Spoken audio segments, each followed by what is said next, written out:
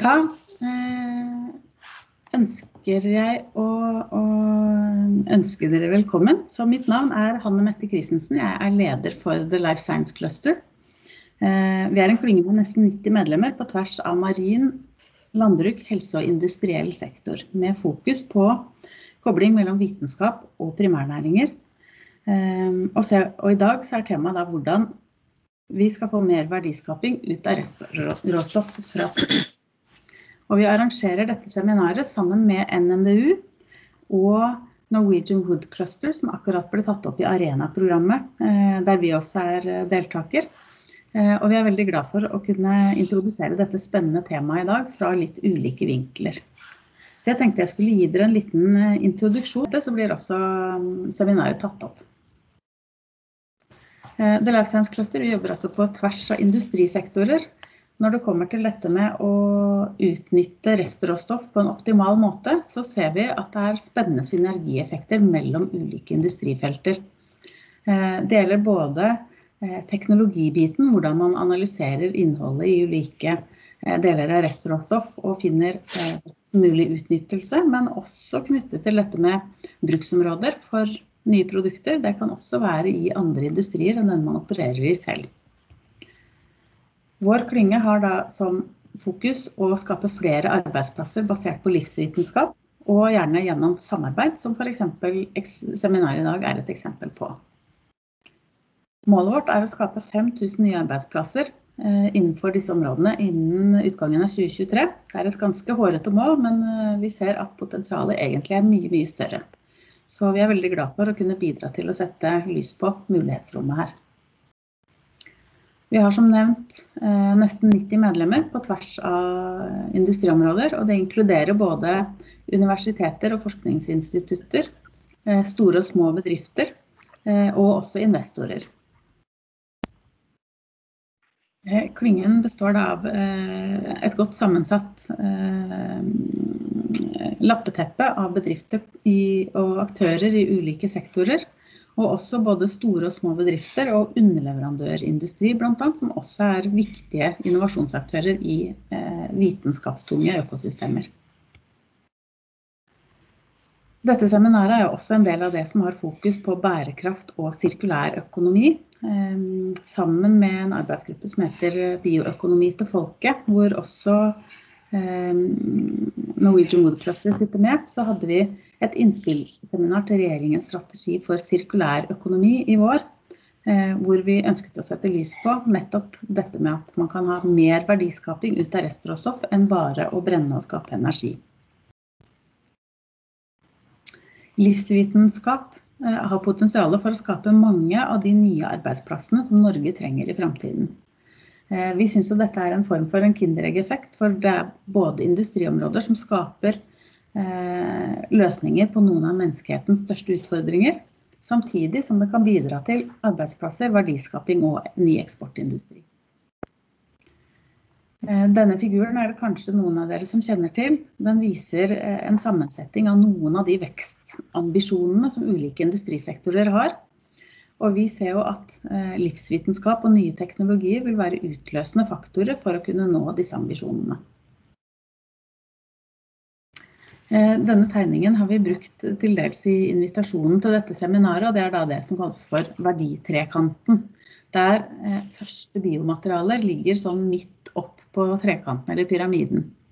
Eh, I dag ligger på høyre side, og framtiden ligger på venstre side. Og som dere ser, så er det her en ambisjon om å bidra til mer høyverdig verdiskapning ut fra materialene.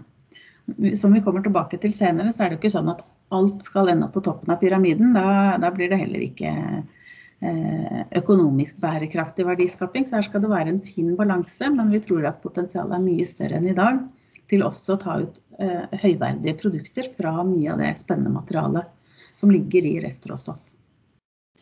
Så det um, er min intro fra Life Science Clusteret sin side. Um, Knut Skinnes fra uh, Norwegian Wood Cluster kommer et, litt senere i programmet, så jeg introduserer han da. Men aller først så er det en glede å introdusere uh, Siri Fjellheim, som er prorektor for forskning og innovasjon ved NMBU. Så Siri, uh, vær så god. Takk skal du ha. Skal jeg bare vente på presentasjonen min kommer opp. Der, ja. Da er det en stor glede for meg å ønske alle velkomne til dette webinaret, som vi er veldig glad her på NMBU for å få arrangere da sammen med Oslo Life Science Cluster og Norwegian Wood Cluster. Og jeg må si at vi her på NMBU syns at uh, dette er et veldig spennende tema. Først skal jeg si litt om NMBU. Kunnskap gjennom forskning, utdanning, innovasjon og formidling er grunnlaget for utvikling av nye bærekraftige løsninger. Og NMBU har helt siden etableringen tilbake i 1859 undervist i skogsbruk og økonomi. Og den eldste oppføringen av forstkandidattittelen i Norge er faktisk fra 1812. Og Den høyere landbruksskole på Ås var den andre institusjonen i Norge som fikk et professorat i økonomi. Campus Ås huser i dag landets desidert største fagmiljø innen skogfag. Og Det gir våre kandidater en stor faglig frihet. De har mange valgmuligheter, og de får en utdannelse som er basert på den aller nyeste forskningen. Og når kandidatene er ferdig utdannet, så skal de forstå alle ledd i verdikjeden. Fra skogøkosystemet til tre- og papirprodukter, biologisk mangfold, industri og friluftsliv. Forskningen og utdanning, eh, utdanningen ved NMBU fokuserer på de komplekse forholdene mellom skogvitenskap, forvaltning og politikk. Og Målet er at uteksaminerte kandidater skal kunne planlegge og lede virksomheter knyttet til skog og skogressurser, og finne en bærekraftig balanse mellom økonomiske, miljømessige og sosiale hensyn. Eh, neste slag. Ja, si neste når du vil ha neste. Ja. Skogen er et levested for mange dyr og planter. Og det er en viktig arena for friluftsliv. Det er en kilde til både treprodukter og bioenergi, og kanskje også helt nye produkter. Og det er jo dette som er dagens tema. På globalt nivå står verdens skogøkosystemer overfor alvorlige trusler som avskoging, forringelse og globale miljøforandringer. Samtidig er skogen også en av nøklene til løsningene på klimautfordringene. Visste du f.eks. at de norske skoger binder omtrent 50-60% av klimagassene som slippes ut i Norge? Eller at verdens nordligste regnskog finnes langs med Trøndelagskysten? Det er altså også viktig at skogen forvaltes riktig og bærekraftig.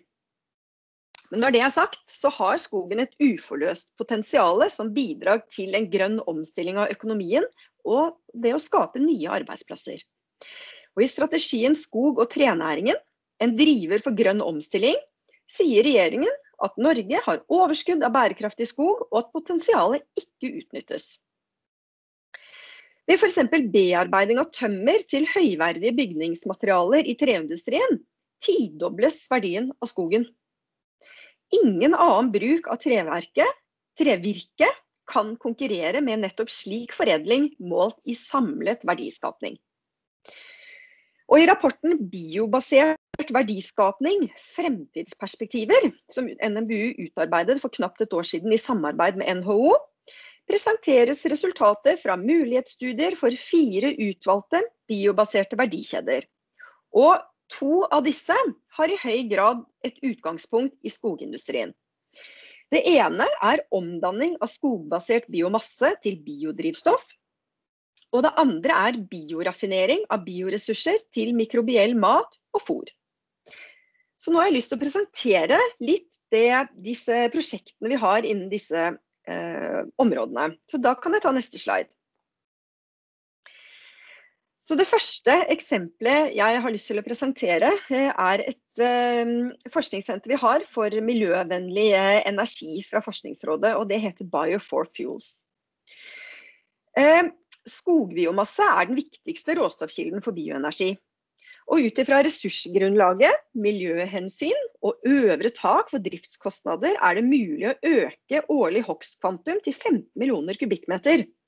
Og dette kan gi grunnlaget for produksjon av bioenergi fra skogråstoff tilsvarende 16 TWh. Det er jo litt sånne tørre fakta, dette her.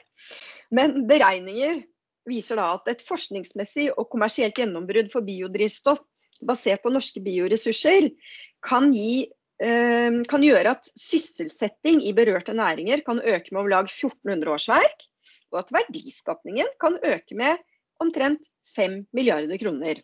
Dette er jo tall vi skjønner. I Bio for Fuels så ser man på eh, om enzymer kan få en ny og økt anvendelse innen bioraffinering. Og I denne raffineringen så omdannes forskjellige biobaserte råstoffer til et bredt spekter av produkter. Og Det kan være mat, det kan være fôr, kjemikalier, materialer og energi. Og Her er biomasse fra skogbruk spesielt interessert, og særlig overskuddsmasse fra skogbruket.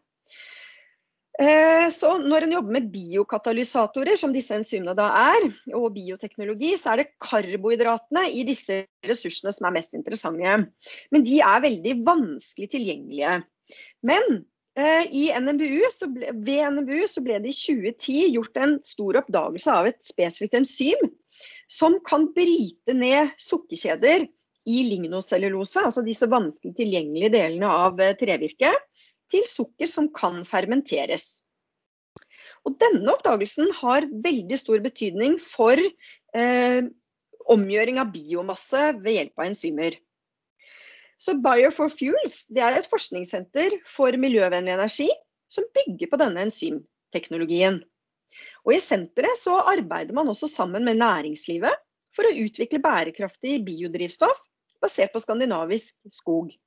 Og Gjennom denne forskningen så prøver man å øke effektiviteten og utbytte av viktige prosesstrinn i de ulike verdikjedene. Man prøver også å få større innsikt i tekniske og økonomiske aspekter på tvers av verdikjeder, og en større forståelse av miljøkonsekvensene av de forskjellige verdikjedene. Da kan jeg ta neste slide. Så Det andre eksempelet som jeg har lyst til å trekke fram, som dere kanskje også har hørt om, noen av dere i hvert fall, er Foods of Norway. En av de store utfordringene i norsk mat- og husdyrproduksjon er tilgang til proteinrikt dyrefôr.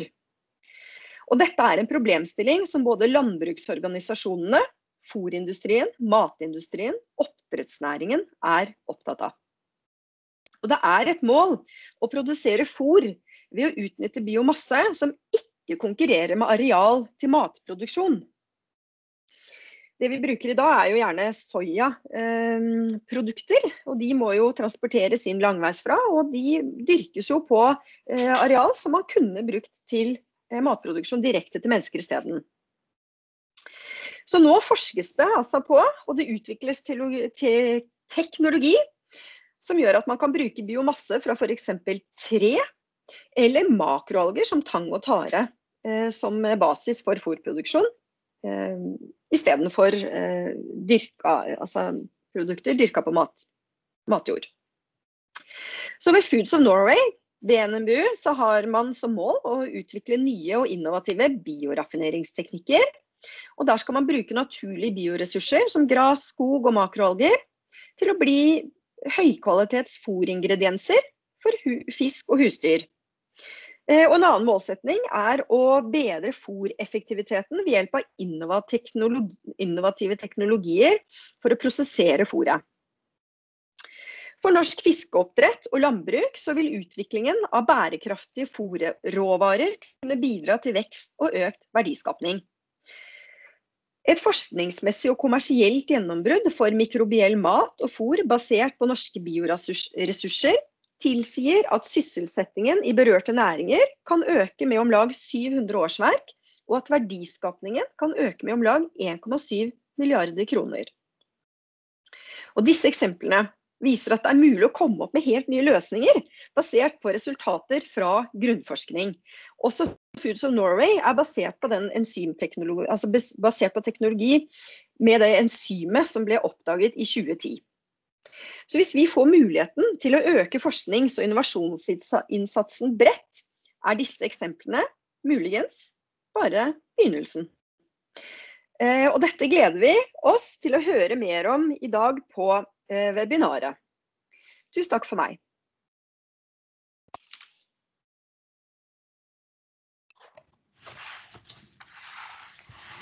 Tusen takk skal du ha, Siri. Det er veldig mye spennende som foregår på ulike områder, så vi gleder oss til å høre flere av eh, bidragene her i dag også. Ehm, før vi introduserer neste foredragsholder, så vil jeg også bare si at eh, Birger Kruse og Solveig eh, Fossum Raunehaug sitter også med oss her i dag. De har også sittet i programkomiteen til eh, seminaret.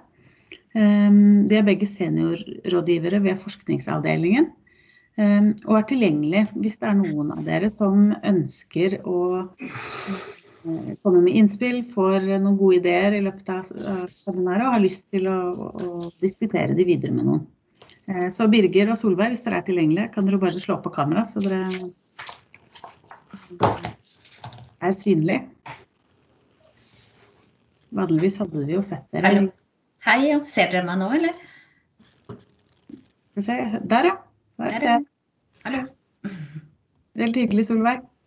Så hvis det er noen som har spørsmål eh, etter seminaret eller blir veldig inspirert til noe, så finner dere info om Solveig på sine websider, så ikke nøl med å ta kontakt. Og det tenker jeg nok også gjelder flere av de andre eh, som prater her i dag. Eh, litt av målet vårt for dette seminaret er jo at flere skal knytte kontakt med hverandre. Så da går vi videre til Hans Fredrik Hoen, som sitter klar. Hans Fredrik er dekan på Fakultet for miljøvitenskap og naturforvaltning ved NMBU. Eh, og skal gi oss et historisk overblikk over utnyttelse av hele tømmeret. Og også noen blikk inn i framtiden på hvordan bildet kanskje kan se ut da. Så Hans Fredrik, scenen er din. Takk for det.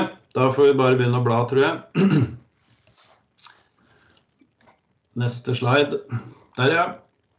Så jeg, det er farlig å gi en gammel mann som meg eh, en overskrift med historien inni seg, men jeg skal bruke litt tid på eh, å eh, se det i det lange perspektiv. Eh, hvordan eh, menneskeheten har eh, brukt trevirke fra skog. Og så skal jeg se på hva jeg tenker har vært de viktigste faktorene som har drevet denne utviklingen. Eh, og så skal vi se framover. Eh, og som et oppspill til det, så skal jeg peke på en bok som kom for eh, ja, hva blir det? drøyt 70 år siden, i 1947, som har vært trukket fram nå de siste 10-15 åra i ulike sammenhenger, som noen av dere kanskje kjenner til. Og hvis det blir tid, så skal jeg um, vise dere litt uh, fra uh, forskningen hva som kan være muligheter framover. Neste bilde. Og trykk. Og trykk. Og stopp. I, og stopp. Fra tidenes morgen så, og en av de første teknologigjennombruddene for menneskeheten, det var jo kontrollen over ilden. Eh, og da var eh, biomasse fra skogen, eller trevirke, eh, fortrinnsvis tørt, et, en nødvendig innsatsfaktor, kan vi si, for å kontrollere den teknologien.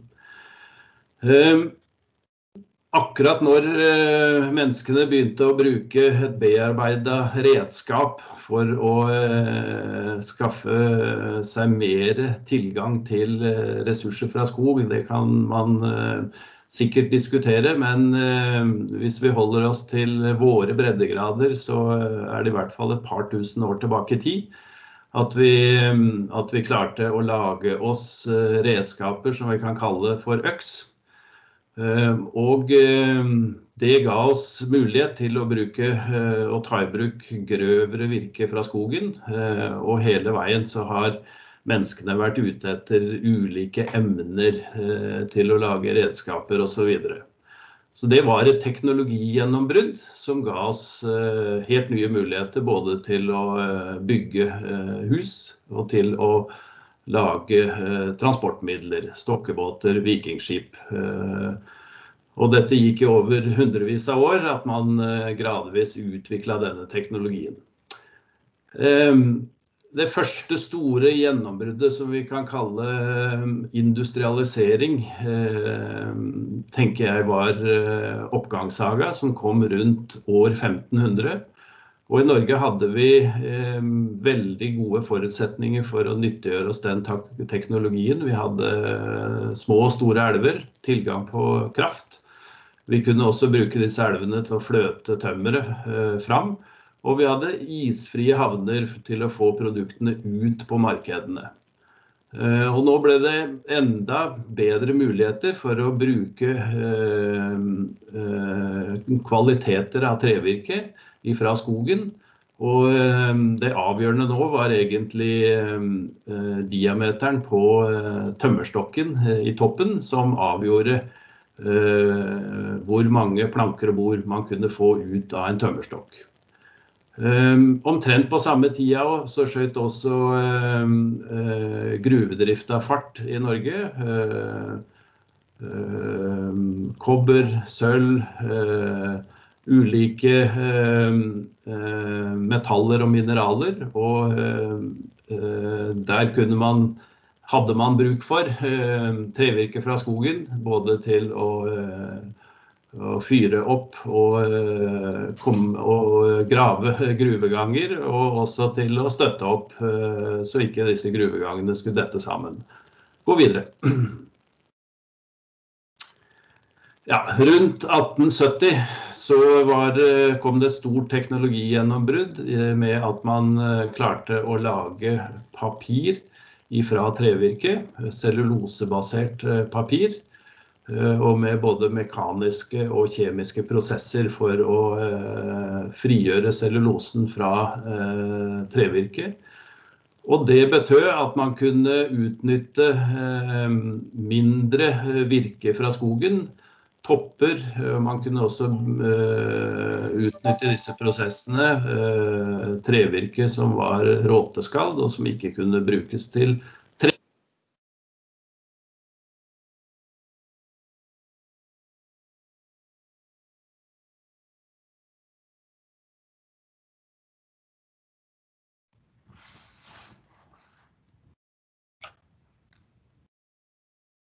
Hans Fredrik, nå tror jeg kanskje vi mista lyden din. Jeg vet ikke om det var bare meg? Hei, jeg eh, snakker på vanlig måte. Kan dere høre meg nå? Ja, der var du tilbake. Ja, fint. To Gå videre. Tror jeg. Ja. Gå videre. Uh, og flere teknologigjennombrudd som uh, betød at man kunne bruke mer av hele treet i uh, industrielle prosesser. Også flis eh, i plateprodukter f.eks. Gå videre. Eh, så har jeg tatt med et skift eh, på 1970-tallet. Vi fikk en, en markedskoordinering og et markedssamarbeid fra oljeproduserende land.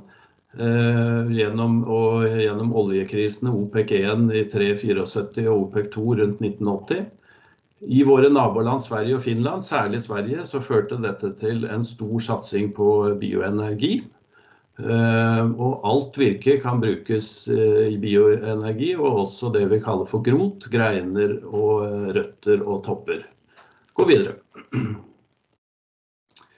En annen endring som virkelig skjøt fart på, utover på 80-tallet, det var økt bruk av returfiber i papir- og emballasjeproduksjon. Eh, og man fikk også teknologigjennombrudd i selve papirproduksjonen, som gjorde at man i større grad kunne bruke kortfibra eh, trevirke til å produsere høykvalitetspapir. Gå videre. Og nå på 2000-tallet så eh, er det eh, vært gjennombrudd knytta til hvordan vi nå kan bygge med tre. Eh, vi har fått massivtreteknologien, krysslimte massive treelementer. Det har skjedd store endringer på papirsida med at alternative kommunikasjonsplattformer har i stor grad overtatt. Eh, og det er, som dette seminaret viser, en ny giv eh, knytta til bioraffinering, biodrivstoff, eh, ulike måter å foredle og bryte ned trevirke til sine enkelte bestanddeler. Og i de, de, siste prosessene så er alle former for biomasse aktuelle. Da går vi til neste bilde. Da må vi bare, tror jeg bare du skal trykke ganske raskt nedover. Ja. Nå har jeg prøvd å skissere hva har vært eh, hovedårsaken til disse ulike endringene i hvordan vi kan bruke ulike deler av treet. Eh, mye har med at det har kommet nye teknologiske muligheter, eh, men også etterspørselssida, og at vi har i økende grad kunnet handle med omverdenen, har påvirka disse endringene og omstillingene. Hvis vi ser på det som skjedde på 70- og 80-tallet, eh, særlig OPEC 1 og 2, så har det mye med markedet å gjøre, og i noen grad også med politikk og politiske virkemidler. Ehm, og det tenker jeg også eh, er eh, relevant for de endringene vi nå diskuterer og, og tenker kan komme. Mye av dette er eh, drevet av eh, politikk og ønske om en endring i samfunnsutviklingen. Så teknologi, eh, markedseffekter, effekter, etterspørselssida, men også politikk har vært avgjørende for alle disse endringene. Da må vi gå videre. I 1947 så ehm, ble det gitt ut en, bok som het ehm, 'The Coming Age of Wood'. Den kommende trealder. Og den var skrevet av eh, Egon Glesinger. Han var eh, visedirektør i eh, FAO. Og hans utgangspunkt for denne boka det var at tre kan brukes til nesten alt. Og vi kjenner slagordet 'Kan det lages av olje, så kan det lages av tre'.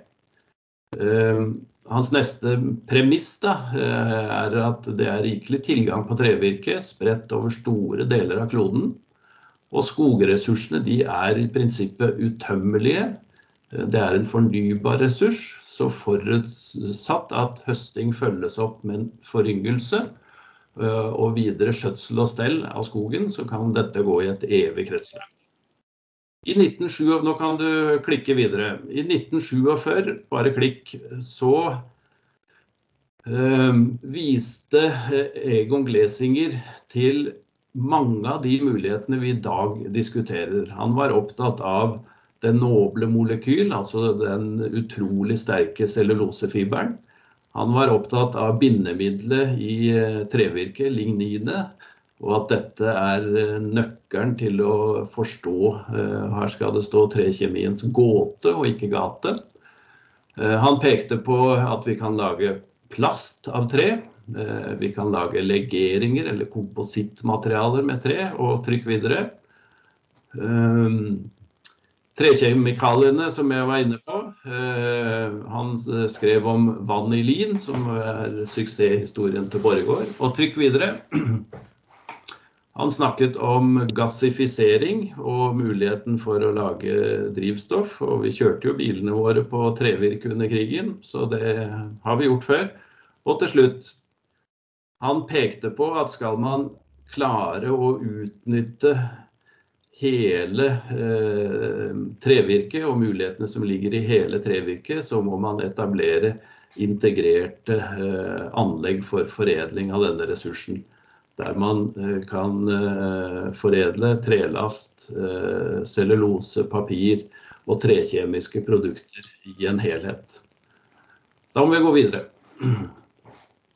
Så mulighetene framover. Jeg tenker at den mest lavthengende frukt, og det vi bare kan sette i gang enda mer med, det er å bygge mer og bygge i høyden med tre det er eh, konkurransedyktig i en markedssammenheng.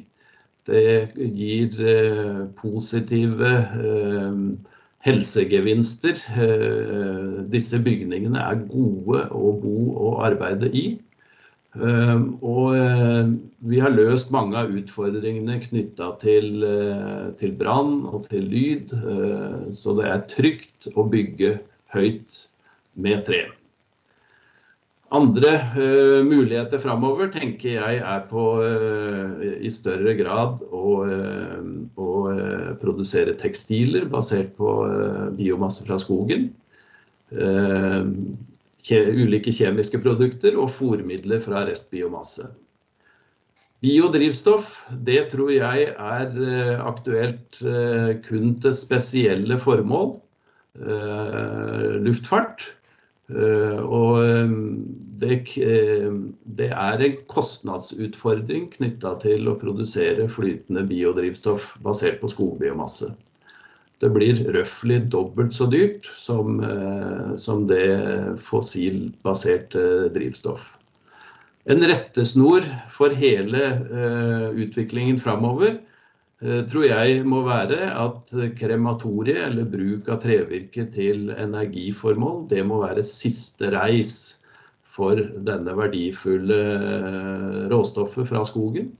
Og man eh, må tenke seg at eh, råstoffet kan gå gjennom mange sykluser av ulik bruk. Man kan bygge, man kan eh, rebruke eh, elementene i bygninger i flere omganger. Man kan bruke det videre i eh, plate-, cellulosebaserte produkter. Og eh, til slutt eh, så kan det være aktuelt å anvende det som en energibærer. Da tror jeg at tida mi er brukt opp. Jeg har noen flere bilder, men så det er avhengig av Ja, da skal jeg vise dere dette bildet fra en doktoravhandling og en disputas som var bare for et par uker siden. Dette viser hvilke muligheter har vi for å produsere biodrivstoff i et omfang som kan monne. Eh, og denne analysen er eh, gjort med utgangspunkt i eh, de nordiske land Finland, Sverige og Norge. Og det viser at det er mulig å produsere flytende biodrivstoff og komme opp til en markedsandel på 40% av det som er forbruket eh, sånn røftlig i dag. Eh, eh, den figuren til venstre viser hvilke ulike trevirkebestanddeler som vil inngå i en slik produksjon ved ulike nivåer da, av biodrivstoffproduksjon. Eh, og figuren til høyre viser eh, hva som skjer i de eh, to hovedanvendelsene av trevirke, til trelast eller til papir- og cellulosebaserte produkter.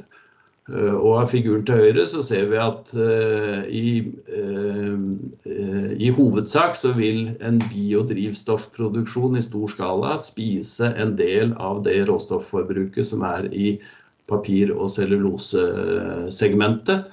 Eh, og vil føre, føre, samtidig føre til en liten økning av uh, trelastproduksjonen, fordi man får en høyere verdi på restråstoffet fra trelastproduksjonen. En 40-50% av det tømmeret som går til sagbrukene, det blir jo ikke til planker og bord. Eh, det blir et restråstoff som må finne en annen anvendelse. Kan vi bla oss fort gjennom de siste bildene, hvis jeg får lov? Ehm, en annen studie som eh, er publisert for et par år siden, tar utgangspunkt i skoglanda USA, Canada, Sverige og Finland. Eh, og denne tabellen viser hva som har skjedd i hovedsegmenter da, for, for, foredling av trevirke fra år 2000 og fram til 2016. Og vi ser at det stort sett har vært en nedgang i uh, produksjonen for mange av disse uh, viktige produktene. Så kan vi gå til det neste bildet. Så har forfatterne sett på hva er potensialet hvis vi tenker oss å bruke skogbiomasse eller trevirke inn i nye anvendelser.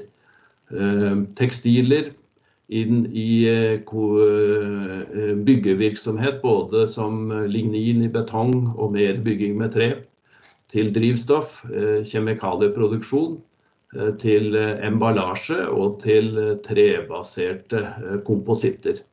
Og så har man antatt ulike andeler av, av markedsvolumet for disse hovedsegmentene.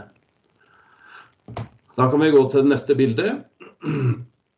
Og her har man pekt på da, eh, eh, kan si, ny teknologi som kan gjøre eh, det realistisk at man kan klare å konkurrere inn på disse hovedmarkedene og ta en liten andel av det store volumet som er der ute.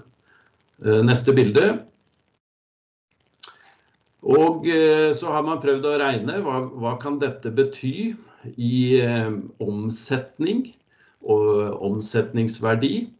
Eh, hva kan det bety i enhetspriser for de ulike eh, hovedproduktene? Og hva kan det bety i eh, form av etterspørsel etter ulike kvaliteter når vi tenker trevirke fra skogen, sagtømmer, massevirke osv. Og da tror jeg vi har det siste bildet. Til slutt så har de da, hvis man tenker seg at man skal eh, oppnå disse relativt begrensa markedsandelene, 5 for eh, de fleste, eh, så har man regna og sett på hva, hva vil det bety i etablering av nye anlegg for å produsere disse volumene.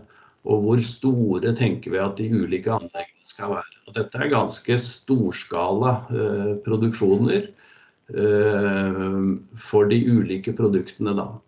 Og vi ser at det er eh, eh fra relativt få anlegg eller nye fabrikker, én til tre på tekstilområdet, på konstruksjonsområdet, som er eh, en et, har et kjempevolum globalt sett, hele byggeindustrien globalt sett, så er det jo et uh, enormt potensial. Og det kan bety en, en kjempesvær aktivitetsøkning. Da.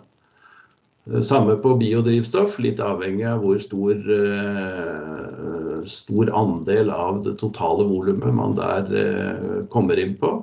Og så er det litt færre anlegg vi snakker om på kjemikalier og på emballasje. Men husk, emballasjeområdet er et av de virkelig de områdene hvor skogindustrien i dag satser også framover. Det annonseres store investeringer rett på andre sida av svenskegrensa i ny emballasjeproduksjon i Karlstad. Så det er mange muligheter. Eh, det er eh, teknologi, det er eh, kostnadseffektivitet og det er konkurransekraft mot alternative konkurrerende løsninger som vil i hovedsak avgjøre hvordan utviklingen blir framover. Og mye av det vi snakker om i dag, har man tenkt på også for 70 år siden og kanskje enda lenger tilbake i tid. Eh, men vi har mer kunnskap og vi har en større eh, verktøykasse teknologisk sett i dag enn hva vi hadde for 70 år siden. Takk for oppmerksomheten. Tusen takk skal du ha, Hans Fredrik. Dette var jo en helt eh, supert inspirerende introduksjon til dette seminaret. Eh, når man tenker innovasjon og nye muligheter, så er det lett å tenke at det er noen ting vi har holdt på med, eller holder på med nå.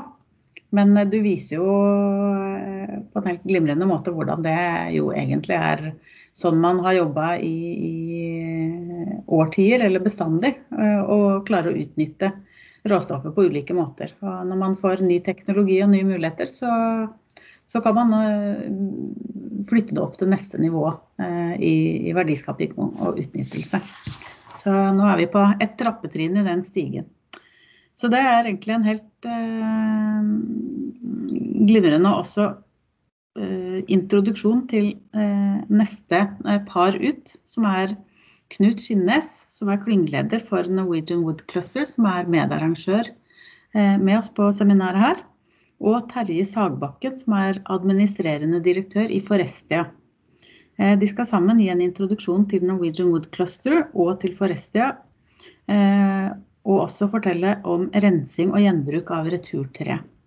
Så Knut og Terje, det er scenen deres. Tusen takk for det, Hanne. Eh, ja, som sagt, mitt navn er eh, Knut. Jeg er klyngeleder i Norwegian Wood Cluster. Og vi er et næringsklynge og et verdikjedesamarbeid innenfor skog, eh, tremekanisk industri og bygg. Eh, og tilbake til industri og forhåpentligvis nye bygg når det kommer til sirkularitet, og det vi skal også snakke om i dag. Eh, vi er jo den lavthengende frukten som Hans Retnik nevnte på i sine framtidens muligheter når han sa han skulle avslutte. Og det er den byggbiten som er hoveddelen for Norwegian Woodcluster. Vi jobber med å øke og utvikle kompetansen for våre medlemmer. Vi jobber med å optimalisere de industrielle prosessene for å øke fortjeneste og øke bærekraft. Vi jobber med å utvikle framtidens byggeløsninger både på å bygge høyt eh, og bredt og sirkulært med mer. I tillegg jobber vi med å redusere eh, fotavtrykket til byggebransjen som helhet ved å øke andelen bruk av tre, som både reduserer utslippene og bidrar til å øke karbonbindinga. Og Det siste der er jo noe av nøkkelfaktoren til sirkulariteten i bransjen. Eh, og treressursen og de fornybare ressursene er jo sirkulære i seg sjøl gjennom det korte karbonkretsløpet. Og måten vi ønsker å tilføre økt sirkularitet, er jo at det vi tar ut, skal holdes så lenge som mulig i omløp utafor den korte kretsløpet, før det går tilbake inn i karbonets korte kretsløp. Så Det er eh, mulighetene skogen har som en klimadugnad til å både ta det ut i materialer og holde det der så lenge som mulig før det da går over i det Hans Fredrik kalte krematoriet. Vi ønsker å bruke karbonet og de ressursene i, eh, til verdiskapning så lenge som mulig, før det da skal gå tilbake i kretsløpet gjennom en type energigjenvinning, pyrolyseprosess, for å få, få, det tilbake dit. Så Det er litt om hva vi driver med. Eh, hvis det er et interessant utviklingsmiljø, så tar jeg gjerne kontakt om vi kan skape noe sammen. I dag så eh, bygges det og rives omtrent like mye i Norge. Eh, det er eh, over en million tonn eh, kubikkmeter som eh, rives og går til brenning. Det ser vi på som en stor utfordring å jobbe med og i større grad kunne gjenbruke mer av den ressursen, både som heltrekomponenter som kan gjenbrukes som helhet, som kan gjenbrukes inn i, i massivtre, limtreindustrien og bruke brukte materialer. Men uh, verifisere de, få det inn i dagens produksjon og igjen være med og skape nye produkter. I tillegg til uh, å rense returtre, som Terje kommer tilbake til. Det handler om at vi ønsker å ta eh, karbonet lenger opp i verdikjeden og som jeg har nevnt, holde det i verdikjeden så lenge som mulig som et viktig klimatiltak. Men ikke minst et viktig verdiskapningstiltak å holde karbonet i bruk for menneskers nytte på en god måte og som et eh, klimatiltak.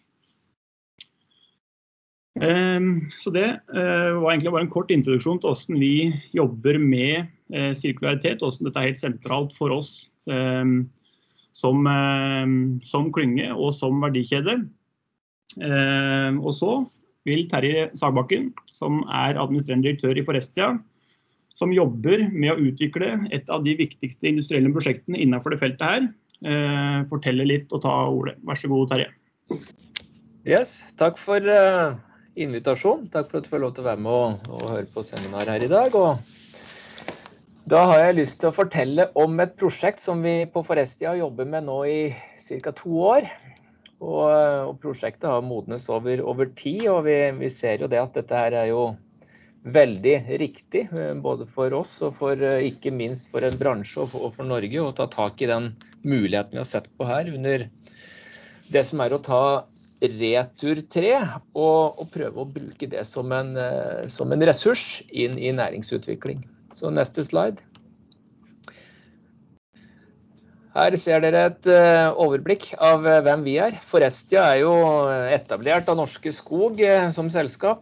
Tilbake til den tida Norske Skog fant ut at alt skulle satses på papir, og sagbruk og platevirksomhet skulle ut. Så det, det, ble jo da tatt ut i et selskap som het Forestia. Moelven tok og sagbrukene etter hvert, og så har Forestia fortsatt som et eget selskap, som er sponplateproduksjon da, på Braskredfoss i dag. Og selskapet er eid av Bygma, som er et børsnotert selskap på norskeid. Forestia 200 ansatte ca. Vi omsetter for rundt 800 millioner i året. Ut av fabrikken på Braskreipfoss så går det 250 000 kubikk med plater hver, hvert år. Tilsvarer 40 vogntog med varer ut hver dag. Og så kommer det ca. 70 vogntog med virke inn hver dag for å holde den fabrikken her gående. Eh, vi har også begynt å prate om karbonbinding som er i platene våre her. Altså det er 400 000 tonn CO2-ekvivalenter. Det er bundet i produktene våre som eh, går ut hvert år. Neste slide. Sponplateproduksjon. Det består jo av tørke eh, sagflis og annet biprodukter fra treindustrien. Den har ca. 50% fuktighet, så den må tørkes ned til 2% og det gjør vi i direktefyrt uh, tørke.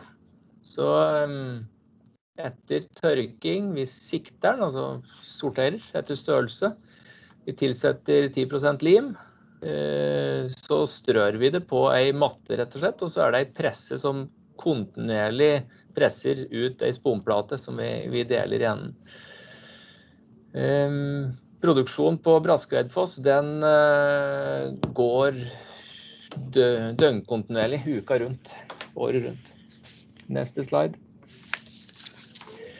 Eh, Sponplate det høres jo veldig enkelt ut. og så Etter hvert som man setter seg mer og mer inn i det, så ser man at dette her er jo ganske komplekse saker. Eh, så Produksjonen vår den har pågått i 50 år. Eh, vi har utviklet mer enn 100 forskjellige resepter nå, avhengig av hva slags bruk sponplata skal ha. Men eh, oppbygging av plata er sånn at de lengste trefibrene den bruker vi midt i plata for å få styrke og bæring. Og så har vi fine fibre på overflata for å få en glatt og, og jevn eh, overflate. Um, produktene våre er faktisk unike i verdenssammenheng. Uh, vi har ei mulighet til å ta fram en ekstremt sterk plate. Eh, faktisk, eh, når Ikea skal ha en god bokhylle som ikke har nedbøying, så kommer platene fra Forestia. Eh, og det er det ingen andre som får til i samme grad som det vi gjør. Vi har òg klart å ta fram en klikklås på plata vår. At den rett og slett klikker sammen plater. Og, og slik sett så har vi òg vært i stand til å lage en del unike produkter med det hva vi, hva vi gjør her. Neste slide. Så jeg ser de noen av produktene våre. Eh, det er jo stort sett bygningsvarer vi lager. I plattformgulv til eh, trehus. Det er jo halvparten av volumet vårt. Så har vi òg begynt å lage steg i i-bjelker i tre til, eh, til trekonstruksjoner.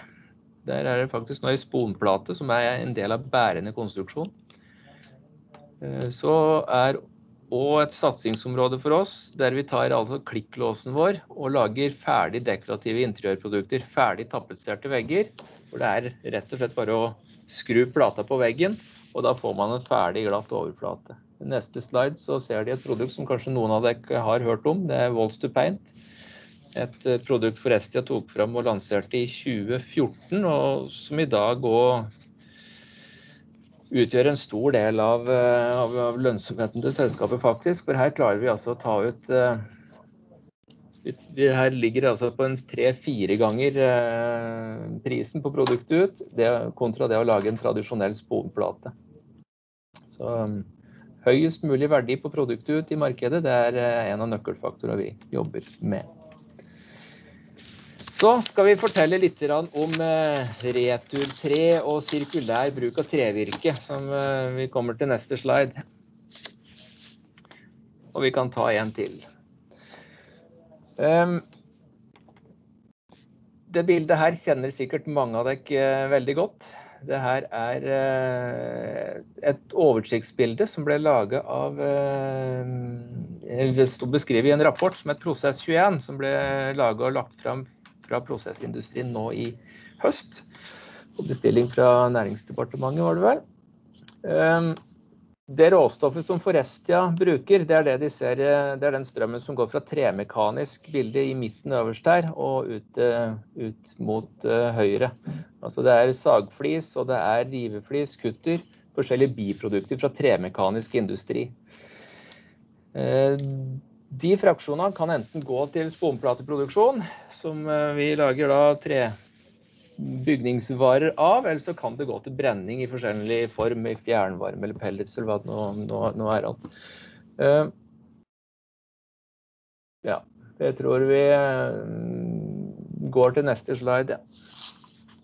Det vi har sett her, og som er bakgrunnen for vårt prosjekt, det er rett og slett at uh, at vi ser veldig mange initiativer nå til at treråstoffet kan brukes til veldig mange forskjellige formål. Eh, det er veldig mange initiativ og forskning som vil ta i bruk trefiber. Og da ser vi stor konkurranse for den fraksjonen som vi henter fra sagbruket våre i dag. I den sammenheng så begynte vi å se på hvilke alternativ har vi for å kunne skape vekst i Forestia. Og gjerne å samarbeide med andre, sånn at andre prosjekter som trenger trefiber og vil kunne få råstoff. For vi ser at dette går jo mot en manko hvis vi ikke, hvis vi ikke um, tar tak i det. Så i neste slide så ser de et uh, bilde om sirkulær bruk av trevirke, og det bildet som vi jobber ut ifra. Uh, I midten her så ser dere altså tremekanisk industri, papir og industrien som bruker trefiber.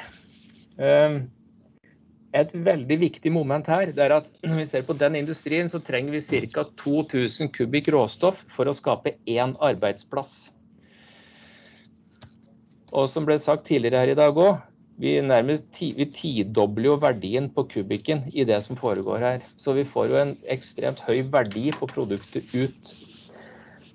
Og så, ikke nok med det, her lager vi jo produkter som binder karbon i 30-50 år. i forskjellige bygningsartikler. Tradisjonelt i dag så går jo da eller jeg kan ta en liten parallell òg. Hvis vi da bruker treråstoff til energiformål, enten det måtte være biodrivstoff eller, eller pellets måtte være, så vil vi ikke ha i nærheten den sysselsettingseffekten per kubikk som vi har i industrien i dag. Så det, det syns vi er et veldig viktig moment i dette her. Tradisjonelt nå, som eh, når trevirke rives, eller hus rives, så går trevirke til brenning og fjernvarme. Gir et CO2-utslipp som eh, vi definerer det som sirkulært, men det er jo et utslipp som det tar ganske mange tiår før vi klarer å binde opp i ny skog. Det vi ønsker å gjøre nå, det er å ta tak i rivningsvirket, rense det og ta det inn som industriråstoff til plateproduksjon igjen. Og ha det som en som en, da, en innblanding, og uten at det går utover produktkvaliteten. Det er det som går i da, vårt prosjekt. Jeg eh, ser tida renner her, så jeg skal være litt rask videre. Eh, neste to slidene det er egentlig om EUs krav til materialgjenvinning, som nå kommer til alle bransjer. Og i korte trekk, Norge som nasjon, vi må ta tak i det her og klare å gjenvinne råstoffene våre til nye råstoff eller avfallet vårt til nye råstoff. Brenning eller energigjenvinning er ikke sett på som materialgjenvinning. Så um, treindustrien har et omdømmeproblem hvis vi ikke klarer å ta tak i rivningsvirket, som er ca. 20 av avfallet i Norge. Den fraksjonen må vi faktisk ta tak i og klare å gjøre sirkulær. Skal vi ha et uh, godt miljøavtrykk på bransjen vår. Da kan vi gå to fram, tror jeg. Eh, treavfallet, som Knut var inne på, vi prater altså om ca. 1 million tonn per år som går på norske ja. Jeg vil bare si fra at du har noen minutter ekstra. OK. Ja, greit. Eh, treavfallet i Norge, det har Vi har ca. 1 million tonn som kun går til, til, brenning. Det vi ønsker å gjøre nå, det er å ta tak i noe av det her rense det fritt for plast, metaller, alle mulige forurensninger. Og, og, ta det inn som, eh, som en eh, supplement, får jeg si. Og slik sett øke kakefatet for alle prosjekter som nå går innenfor bruk av trefiber. Jeg kan også si at den ressursen her, som ligger på avfallsstasjonene, den representerer to millioner tonn CO2-ekvivalenter. Så vi prater jo om 4% av norske totale utslipp. Neste slide. Og en til. Det vi ser på, det er jo faktisk et, noe som kalles rensetårn. Og det er jo en relativt kompleks prosess. Eh, finnes på noen anlegg i, i Europa. Eh, og det vi nå ønsker å gjøre, det er å ta trefiberen, vi kverner den opp, eller kjøper den ferdig oppkvernet, sorterer den og tar ut alle forurensninger. Og da er det med strek under alle. Altså vi skal ta dette andre materialet her og kjøre det i tørke. Eh, og da kan vi ikke ha plast eller metall eller andre forurensninger inne. Fordi da har vi for, det første en sikkerhetsrisiko i, i et tørkeanlegg. Eh, og har vi med og fremmede, fremmede artikler inn her, så får vi jo et produkt som eh, som ikke er det det skal være. Eh, neste slide så ser vi jo detaljer i, i den prosessen her. At vi faktisk må, vi må sortere all fiberen i størrelse før vi går ut og plukker ut alle urenheter. Så det, det er mange prosesser i sånn, sånn, eh, et sånt rensetårn. Men det er en stor investering. og det, Vi prater om en investering på rundt 250 millioner kroner.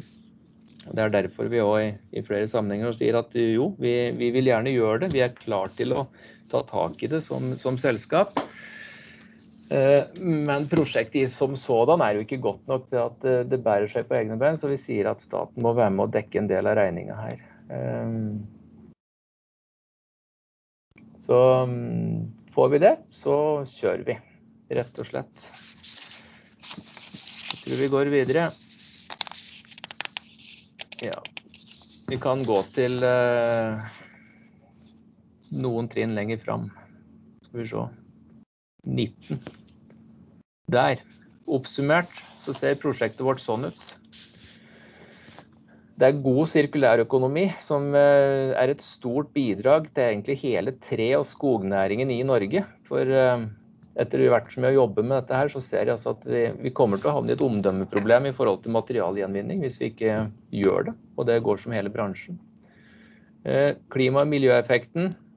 Det å kunne ta er det 100 000, Vi har tenkt å bruke 100 000 tonn i prosjektet her. Det tilsvarer 157 000 CO2-ekvivalenter. Eh, som vi da vil forlenge binding av tre på. Tørkebehovet i tørka vår det går betydelig ned, fordi at returtre er mye tørrere enn, et, enn en naturlig fiber. Så vi sparer ca. 30, 30 000 megawattimer på, på tørkeprosessen. Og i tillegg, det å bruke 100 000 tonn returtre til industriformål, det kommer til igjen å gi rundt 100 nye arbeidsplasser. Jeg kan nå fortelle hvordan vi skal få frem det. Vi kan gå et par hakk videre her. Vi har fått penger fra, fra regionalt forskningsfond, og vi har startet et prosjekt hvor vi ser på alternativ eh, også på alternativer, eh, enten i egen regi eller sammen med andre. Starte ny virksomhet basert på trefiber, hvor vi lager nye industriprodukter. Så det kan være biocurl, det kan være wood plastic composites osv. Ehm, vi har egentlig da bare startet forprosjekt her for å kartlegge mulighetene for ny næring på Braskereidfoss. Jeg tror det er i korte trekk det jeg hadde tenkt å si i dag. Så ehm, her ser de da noen av de mulighetene vi er inne på. Yes. Da beveger vi oss over til vår internasjonale gjest Risto Korpinen. Risto, jeg introduserer deg på norsk. Jeg vet du skjønner både svensk, norsk og, og, engelsk. Du snakker på engelsk, ikke sant?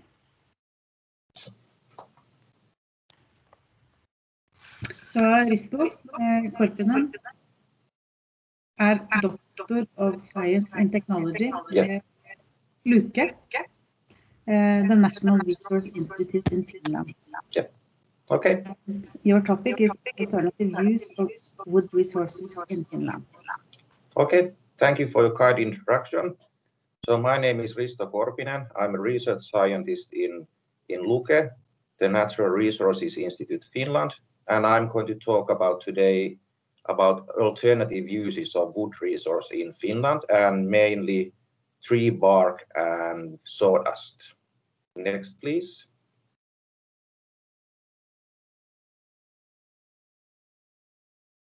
So here, yeah. So this is a figure about the uh, wood consumption in Finland last year. So you can see that the, the Finnish forest industry consumed about 71.1 million cubic meter of roundwood and 60% of, of that uh, was used by chemical pulp industry and sawmilling industry and, and other uh, mechanical uh, forest industries were using about 40% of, of, of the 71.1 million cubic meters. So I don't know about the Norwegian figures, but these are these are for, for Finland. Next, please. And I mentioned about the side streams, and these are also actually what we have also done uh, research in Luke. So the the side streams that are, are, are of interest is tree bark and sawdust. And uh, about the uh, softwoods from Norway spruce and Scots pines, about 10% of the roundwood volume is actually bark. And in hardwoods, the, the, the tree bark uh, percentage is a bit higher, about 12%. And you can see from the figure down that actually when you do uh, timber, so you need to have quite a lot of wood to produce one one cubic meter of timber. So you actually need about 2.2 cubic meter of logs because you are producing sawdust, you are also producing bark, and the outer parts of the trees are, are chipped to pulping industry. So basically from the sawdust, so about 13% of, of the roundwood volume is, is converted to, to, to sawdust when you are doing timber. Next, please. And from the, from the first figure that I showed from 2019, so um, so the Finnish uh, forest industry uh, used pine logs about 11.1 million cubic meters, and for pulpwood, 17.9 million cubic meters, and spruce, 13.9, and pulpwood, 10.5 million cubic meters. And the hardwood uh, was mainly birch, and hardwood logs consumption was 1.2 million cubic meters, and the pulpwood consumption was 14.0 million cubic meters. And from these numbers, you can actually calculate that how much bark was generated in Finland last year. So from pine, it was 2.9 million cubic meters, and from spruce, 2.4. And from, from hardwood, it was 1.8 million cubic meters. And also for the sawdust, from pine, it was 1.5 million cubic meters, and from spruce, 1.9 1.9 million cubic meters of, of soda. So we can see that actually we are generating quite a lot of uh, these side streams that you could be used for other things than, than burning. Okay, next. And now I'm talking a little bit about birch. So the birch has, uh, the birch bark can divided into two layers. So the birch bark has uh, inner bark and outer bark, and the inner bark is about 75% of the bark, and the outer bark is 25% of the bark. So, so the outer bark for birch is this beautiful white uh, layer that you can actually easily peel from the logs, and the outer bark contains uh, interesting compounds like betulinol and, and suberin. So you can see the chemical structure of betulinol in the slide and also the suberin structure. And the betulin, which, uh, betulin content in, in the outer bark can be as high as 40% of the material. So it, it contains quite a lot of this. And it has been shown that, that betulin can be antiseptic, antiviral, antioxidant, and it has also anti-inflammatory properties. And this betulinol can be used in, in, in cosmetics and also in, in making uh, medicines. And the superin is the other major compound in the outer bark, and it also, the bark contains quite a lot of uh, superin. It can be up to 50% of the bark material, and it's a, a natural bio polyester, as, as you can see. Next, please. And the bird's inner bark, the brown stuff you can see in this picture, so it contains tannins and other uh, polyaromatic compounds, and also you can produce raspberry ketone from, from this uh, uh, inner bark. So there's a lot of uh, potential that you can use these in, in different applications, also uh, in, in cosmetics and, and making, making drugs. Next, please. And now I'm going to talk about spruce bark. So also spruce, it has two, two layers, outer bark and inner bark. And the inner bark composition of, of spruce bark, is about 10%, and the rest is outer bark. And these, uh, the outer bark contains, for example, tannins, about 10% of the, of the dry weight, and inner bark contains stilbenes, you can see the stilbene structures uh, below the, the, the, picture. So you have uh, astringine, isoraportine, and piceid. And these stilbenes are really interesting compounds because they are really antioxidant and they are antimicrobial, antifungal, and they have also anti-inflammatory properties. And if you can, uh, the stilbene fracture uh, structure is pretty much the same as resveratrol that you have in red wine. So, so the, the effect of these compounds is pretty much the same that when you are drinking red wine. So it's really healthy. Next, please. So this is like a, a summary that how you can use bark instead of burning it. So for birch, you, you can extract betulinol and you can use it in cosmetics, pharmaceuticals, also packaging and textile treatments.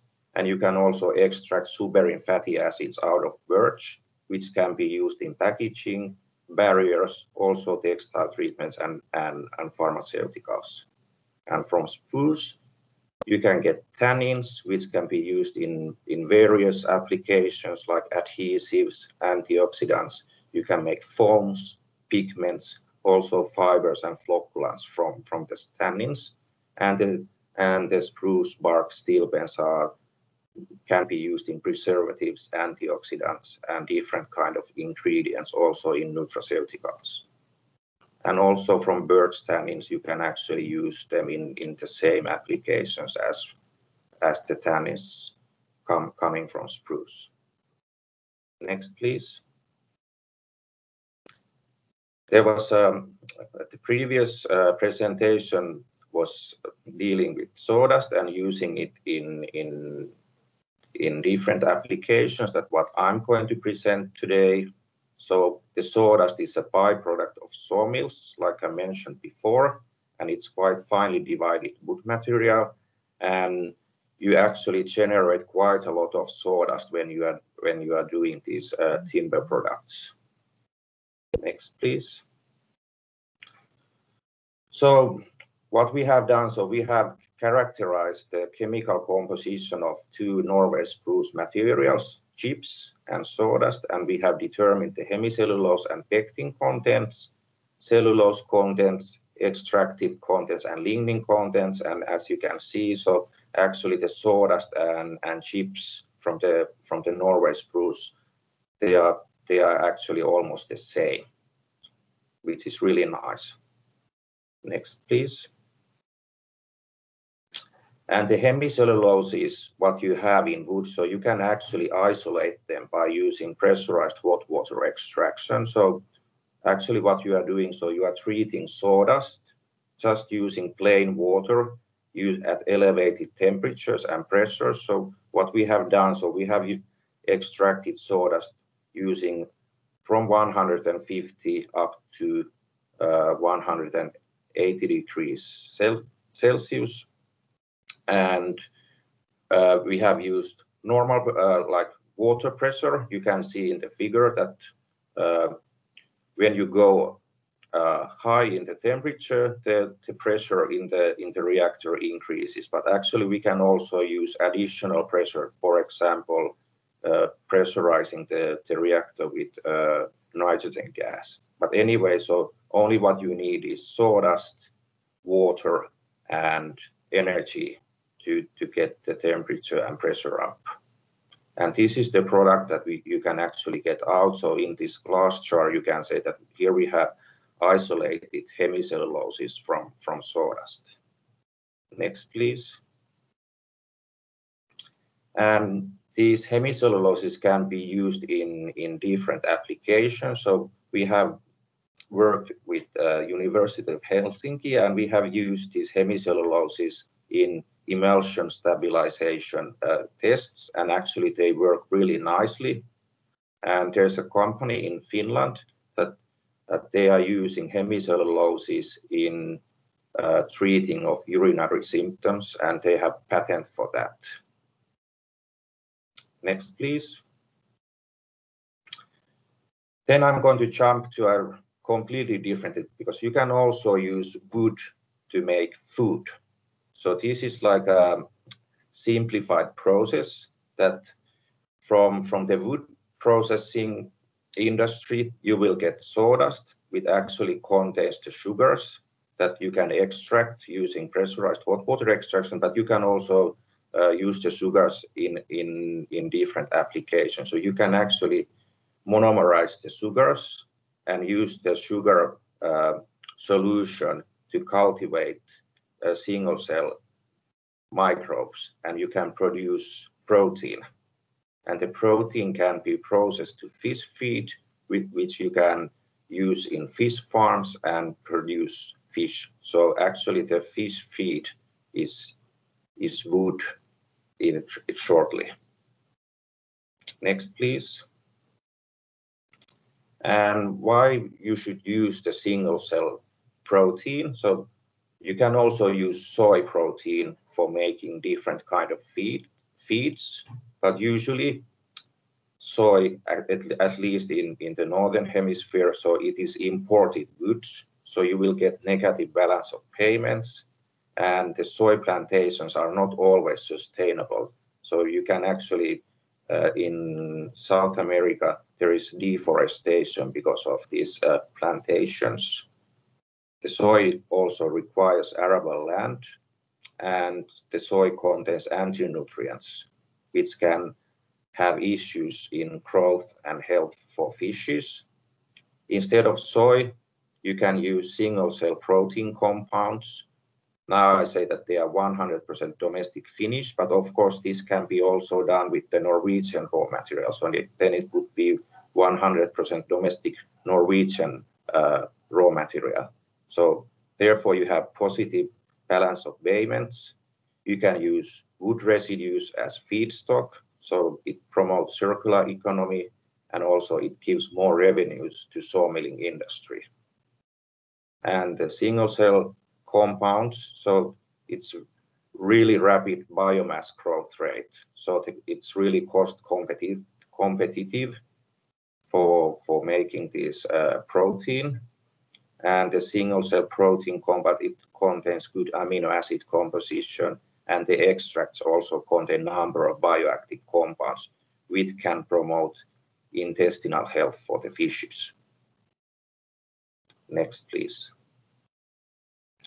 So this is uh, a bit old uh, information about the Norwegian uh, salmon production. So 2015, so Norway produced 1.31 million tons of salmon. And when you when you are growing or cultivating salmons, you need uh, fish feed. So actually, one kilogram of salmon, so you need one kilogram, 1.1 kilogram of fish feed. And if you see that it's 1.3 million tons of salmon, so you need 1.3 million tons of fish feed, which you, which you can actually produce from the wood residues. Next, please. And this is what we have done in, in Luke, so we call it monocell process. So we have used Norway spruce sawdust, which we have pre-hydrolyzed just using water to get hemicelluloses. And then we call it cooking, but it's like we are removing lignin from the solid residue after the pre, pre-extraction. And we get like a cellulosic pulp.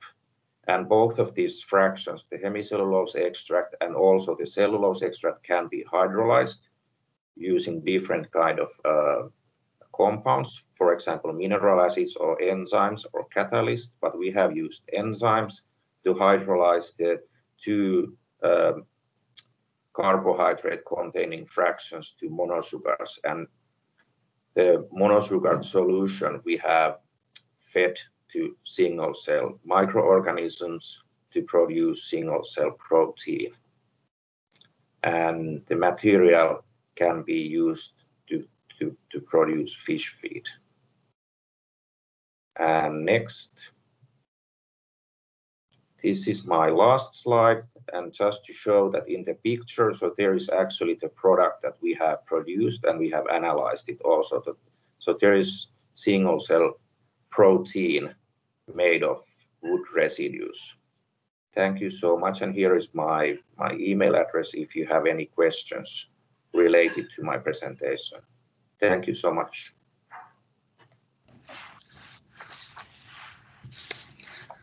Thank you very much, uh, Risto. It's uh, very interesting to hear uh, the work that you have been doing in characterizing the different um, substituents or, or, contents of different fractions of wood.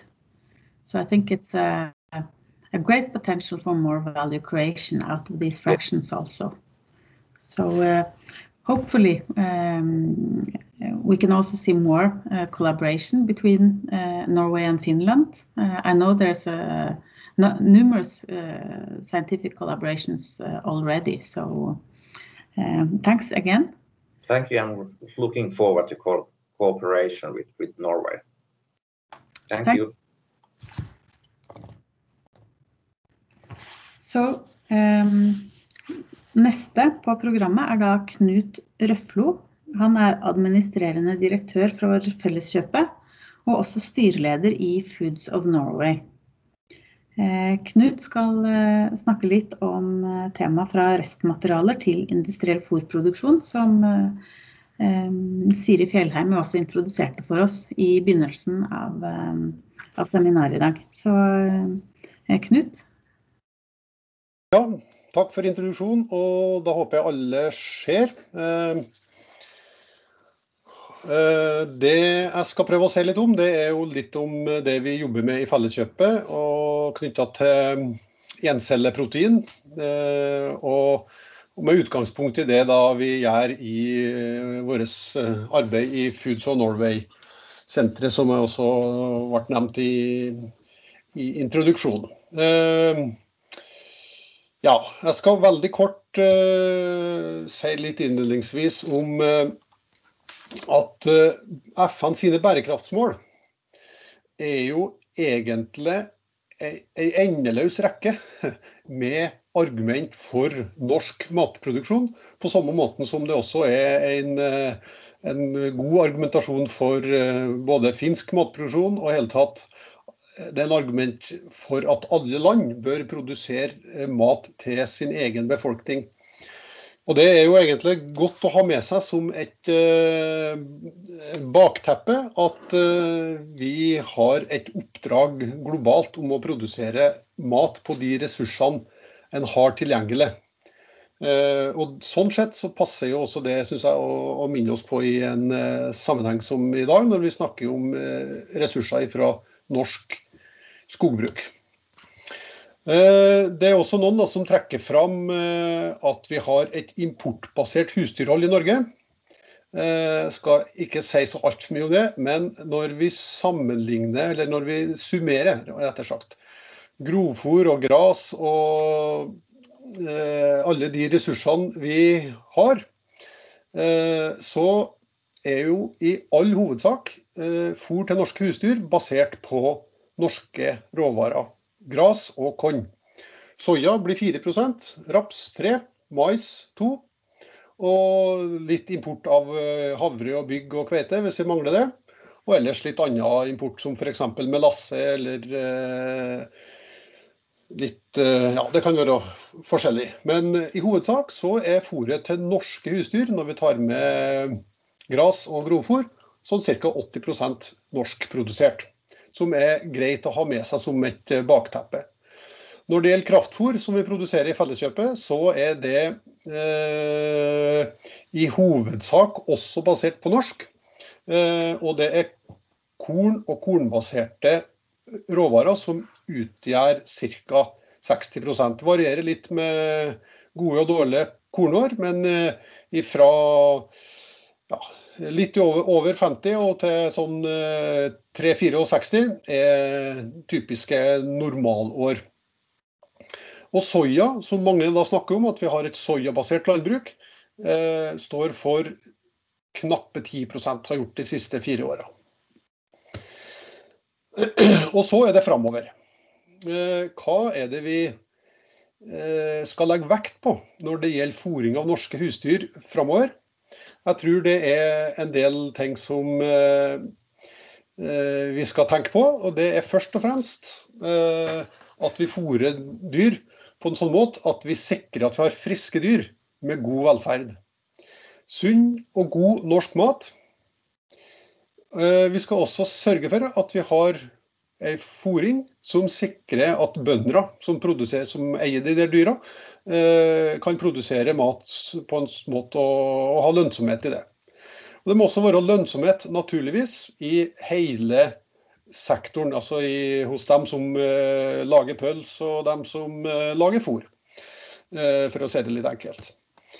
og vi må også ha en fôring naturligvis, som bidrar til å opprettholde, og, eller kanskje også øke tilliten til norsk mat.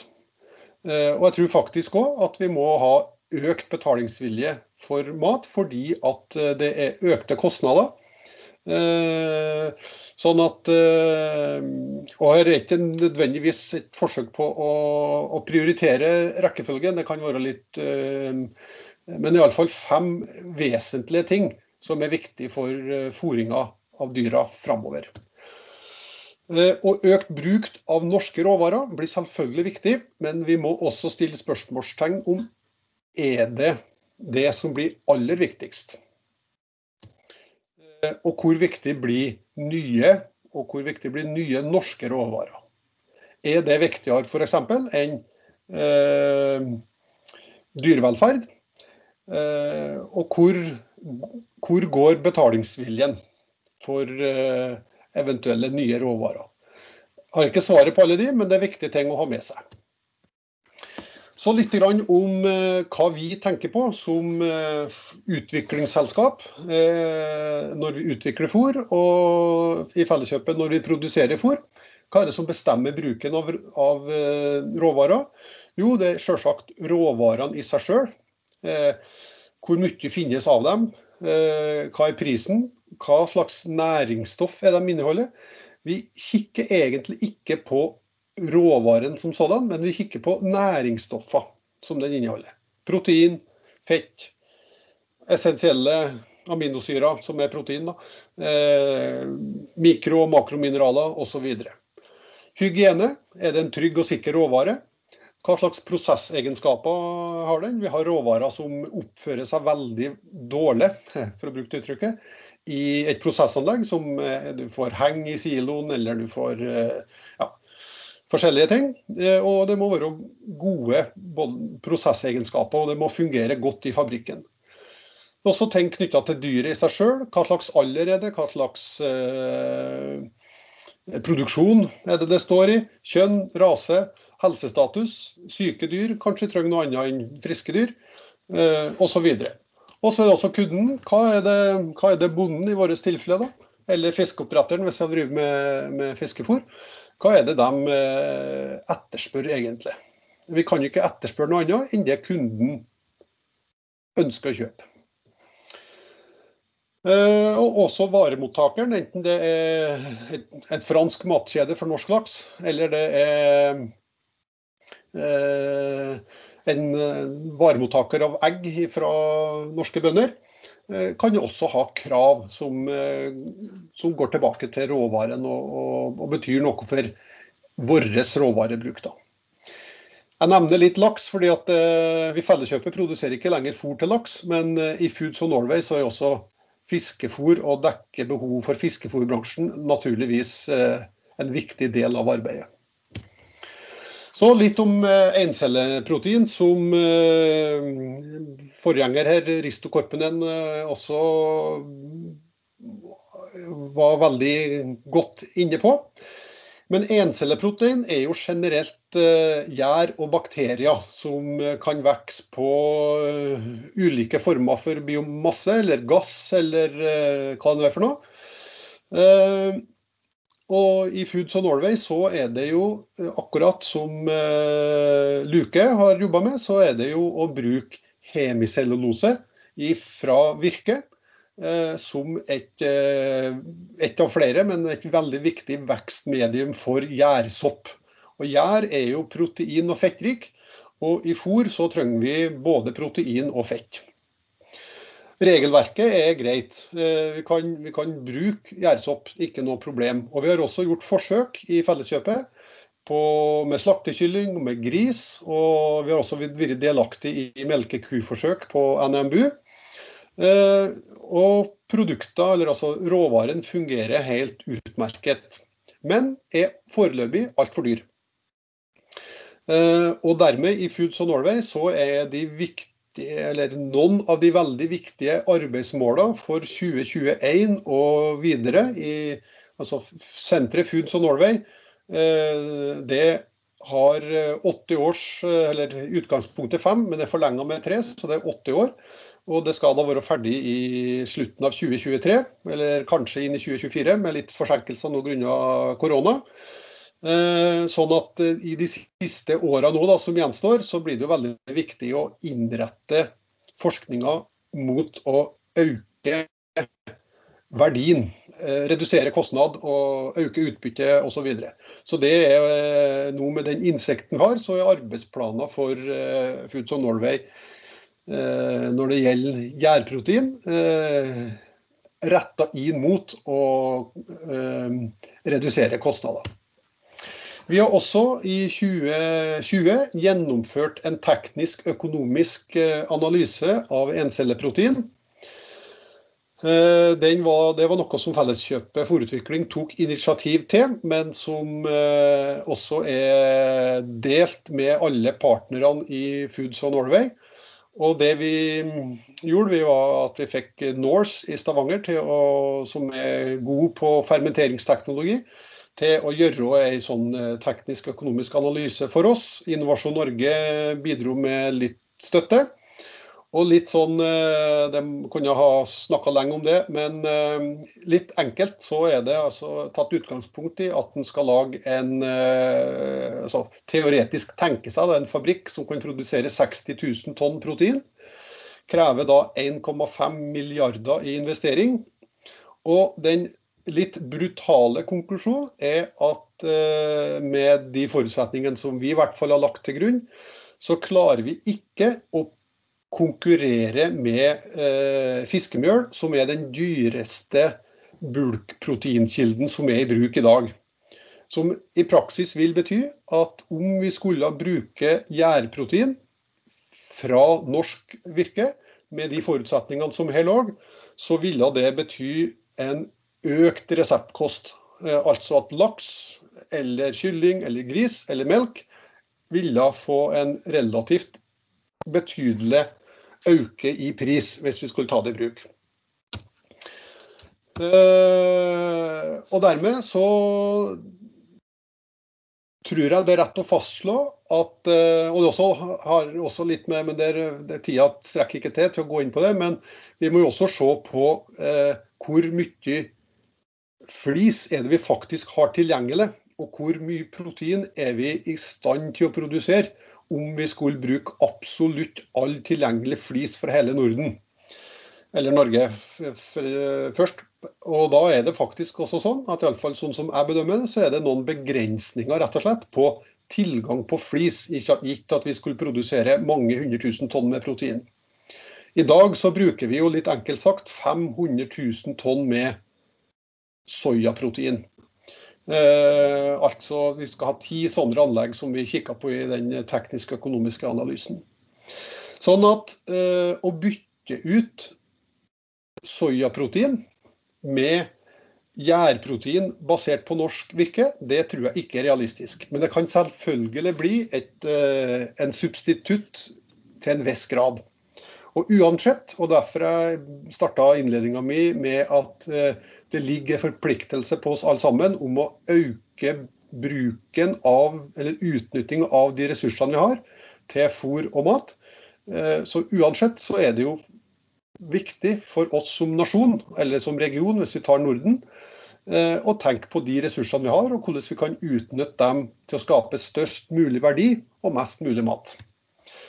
Eh, da, hvis vi skal se på det, vil jo være avhengig av at vi, fordi at det er en merkost med å produsere egg og melk og kjøtt i hvert fall, så må vi ha positive helseeffekter. Og Det var også eh, Risto Korpen er inne på at eh, encelleprotein kan ha eh, helse, positive helseeffekter for, eh, for, landdyr, for gris og fjørfe.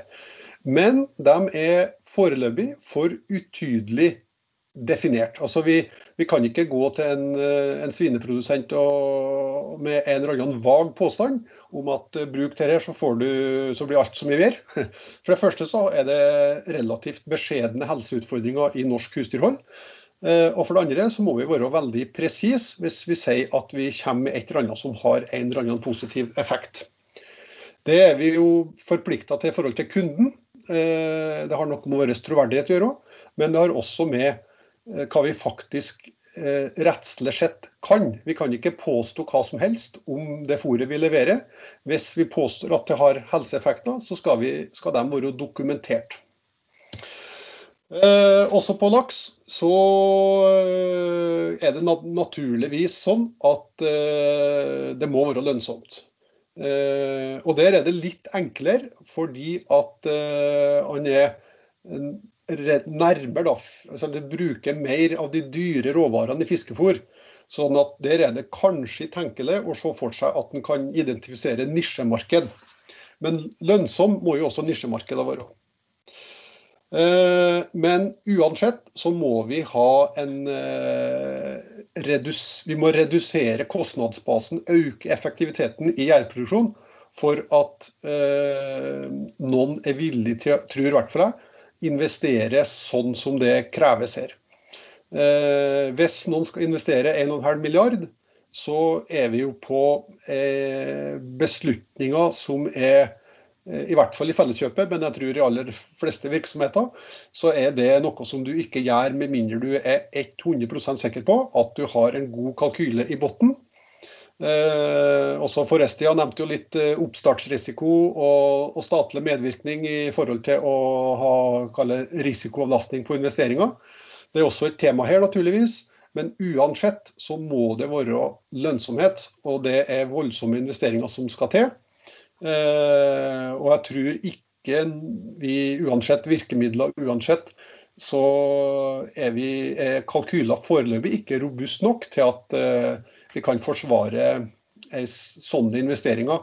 Og at vi kan rett og slett konkurrere med andre alternative investeringer som vi har.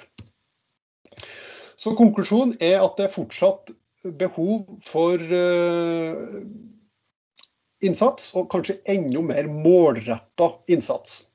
Det handler om økt utbytte og redusert kostnad.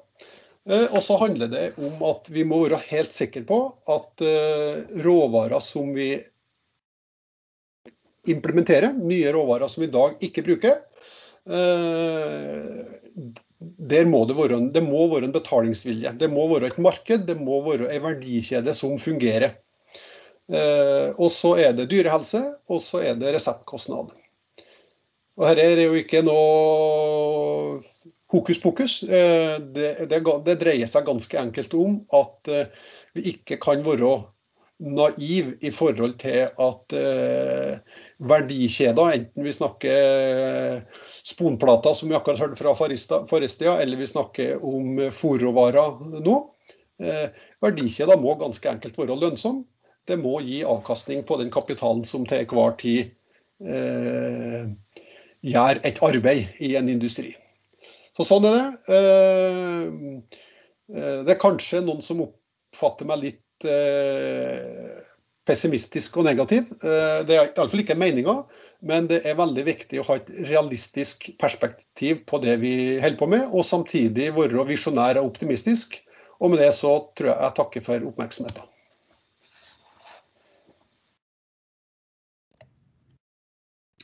Tusen takk, Knut. Det var en eh, veldig god introduksjon til eh, muligheter og noen av de tingene man må tenke på for å klare å få økonomisk bærekraft i de nye løsningene man skal skape. Og hvis ikke man har det, så vil det jo heller ikke vare over tid. Og da blir det jo heller ikke nye løsninger som faktisk gjør en forskjell. Og Det er egentlig en uh, veldig fin overgang til neste del av programmet, for da kommer vi også over på, uh, videre over på industrisiden. Da er det først Arbaflame, så kommer Oskar Alde fra Innovasjon Norge, og deretter Daniel Holt Larsen fra Shelterwood, som, uh, som investerer inn i denne sektoren. Så først ønsker jeg gjerne velkommen til Bjørn Halvard Knappskog, som er CEO i Arbaflame. Eh, kan sagflis bli til høyverdige kjemikalier og fiskefôr. Så eh, Bjørn Håvard, vær så god. Tusen takk. Eh, yes, jeg heter som, som sagt, Takk for introduksjonen. Jeg heter Bjørn og er daglig leder i, i Arbaflame. Um, Arbaflame er et uh, Vi tillater oss, uh, tillater oss selv å kalle oss selv for et biotech-selskap, fordi det handler om konseptet vårt og teknologien vår handler om så veldig mye mer enn en bare pellets og, og kullerstatning. Uh, vi har en langsiktig visjon om å ha en ekstremt fleksibel teknologi på råstoffsiden. Og produsere ikke bare ett produkt som er pellets for kullerstatning, men en rekke bioprodukter som inkluderer både biokjemikalier og på sikt muligens også fiskefôr. Skal vi gå på neste slide? Eh, vi har over eh, nesten eh, ti år på en demonstrasjonsfabrikk utenfor Kongsvinger utviklet en teknologi for å produsere et biobrensel som har kullignende egenskaper. Som tillater kullkraftverk og eller fjernvarmeverk å fase ut kull og erstatte det med et biobrensel eh, som har de samme egenskapene. Eh, dette er noe som ikke er mulig med vanlig biomasse eller woodchips eller sagspon eller vanlige pellets. Nettopp fordi eh, disse energibærene har andre egenskaper enn kull, og som krever store investeringer på kraftverket eller varmeverket hvis de skal bytte kull med biomasse. Og, eh, jeg, vi tenker litt sånn at det, innovasjon det, det, er ikke alltid en eh, tiårs eh, konkret plan med en forventning om akkurat hvilke resultater man skal få. Iallfall for, vi, for vår del så har hovedfokuset vårt vært nettopp det å kunne produsere et produkt som er godt nok for kullkraftverkene. Men så har vi gjennom denne tiårsperioden oppdaget nye muligheter gjennom produksjonsprosessen vår. Eh, og oppdaget muligheter for andre eh, verdifulle produkter som vi kan ekstrahere og produsere fra den samme prosessen. Så kort oppsummert fra, fra, venstre side her, så er eh, input-faktoren til, til, vår fabrikk eh, bioavfall, hvis jeg kan kalle det det.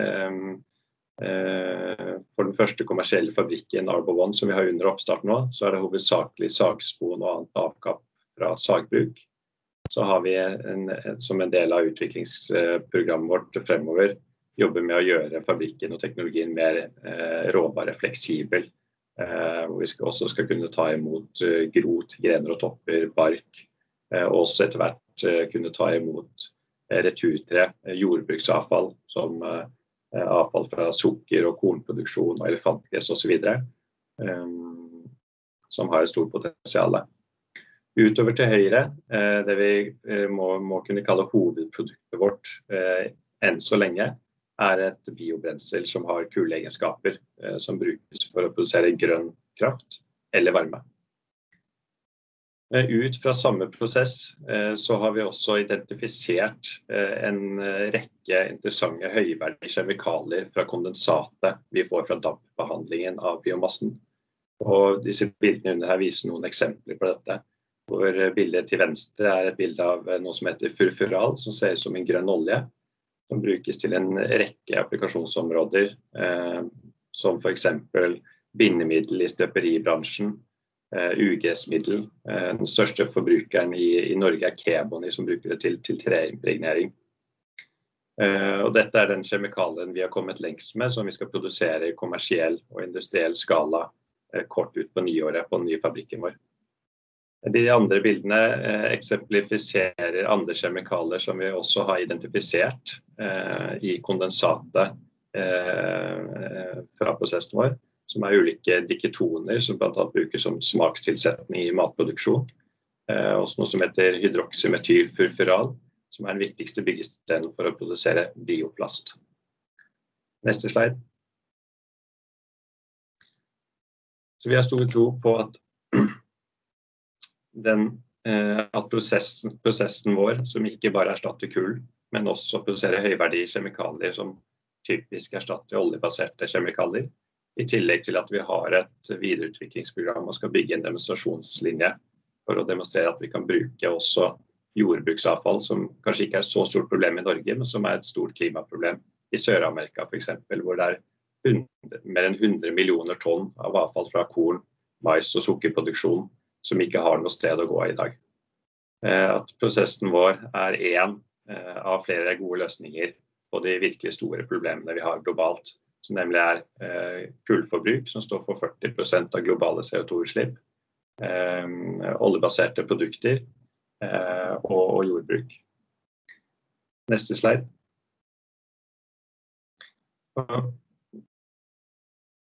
Markedet vårt for,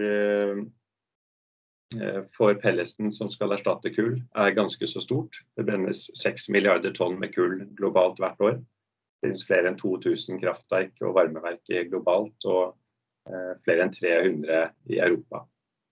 Neste slide. Og vi mottar ekstremt mye henvendelser fra energiselskaper, spesielt fra Europa, eh, drevet av eh, det vi ser på høyre siden av denne sliden, som er at de aller fleste EU-land nå setter spesifikke eh, sluttdato for kull Eh, med jevn spredning fra allerede i 2021 i Frankrike og frem mot 2030. Og så er det et eh, viktig, eh, viktig eh, poeng i forhold til hvordan kraftmarkedet fungerer, som er illustrert på venstre side her, hvor vi ser at eh, vind og sol tar markedsandeler for energiproduksjon i Europa år for år, og forventes å gjøre det også fremover. Og man ser det at kull Eh, produksjonen fra kull går ned år for år. Men det er stor forskjell mellom kraft som produseres fra vind og sol, som ikke er en fleksibel energikilde. Det produseres når det blåser og når det er sol, og ikke nødvendigvis alltid eh, når du trenger det. Det er også årsaken til at kraftprisen kan gå ned til null, eller faktisk være negativ til tider, eh, når det blåser som mest. Så i samme perioden her, de siste ti årene, så har faktisk installert eh, effekt fra kullkapasitet doblet seg, samtidig som faktisk forbruket eller produksjonen har gått ned.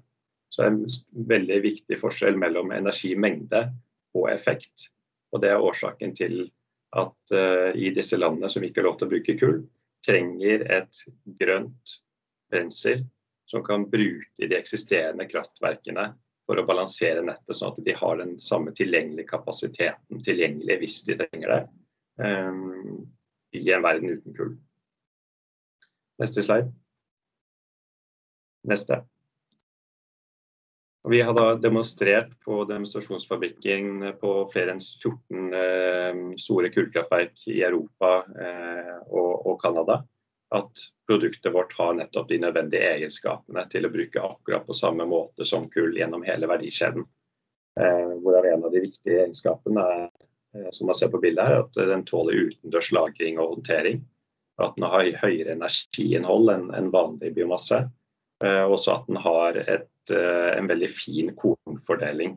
For det kullkraftverkene gjør før det brennes i forbrenningskammeret, er at det kvernes opp til et veldig, veldig fint pulver.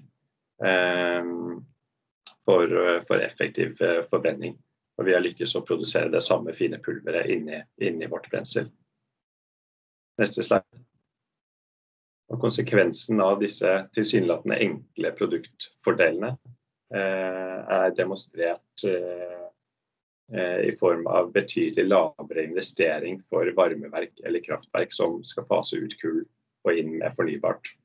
Det er eksempler på kraftverk både i Danmark, England og Canada som har bygget om kraftverket for å kunne ta imot vanlig biomasse eller pellets. Det er investeringer på, på alt fra 150 millioner euro til 700 millioner euro, avhengig av størrelsen på kraftverket. Mens vi har konvertert et kullkraftverk i, Canada til mindre enn 5% av samme investering. Som i kombinasjon med høyresiden her, en kostnads, eh, kompetitiv produksjonskostnad, eh, gjør at vi er et veldig godt alternativ for disse kullkraftverkene som trenger alternativ brensel. Eh, der hvor de fremdeles trenger den samme effekten, enten for varmeproduksjon eller kraftproduksjon. Neste slide. Neste. Neste. Etter mange års testing og utvikling så når vi en stor milepæl i disse dager hvor vi har en, en, større kommersiell fabrikk under oppstart utenfor Kongsvinger. Som vi har valgt å, å, å kalle Arba One. Her ser vi bilder fra baksiden som egentlig fokuserer på kjemikaliebiten og man ser kjemikaliestripperen midt, midt, på midt på bildet, som da produserer eh, furfural ut av prosessen. Og så har vi et anaerobisk renseanlegg på høyresiden her som produserer eh, bl.a. metangass, som vi bruker som eh, energi i prosessen.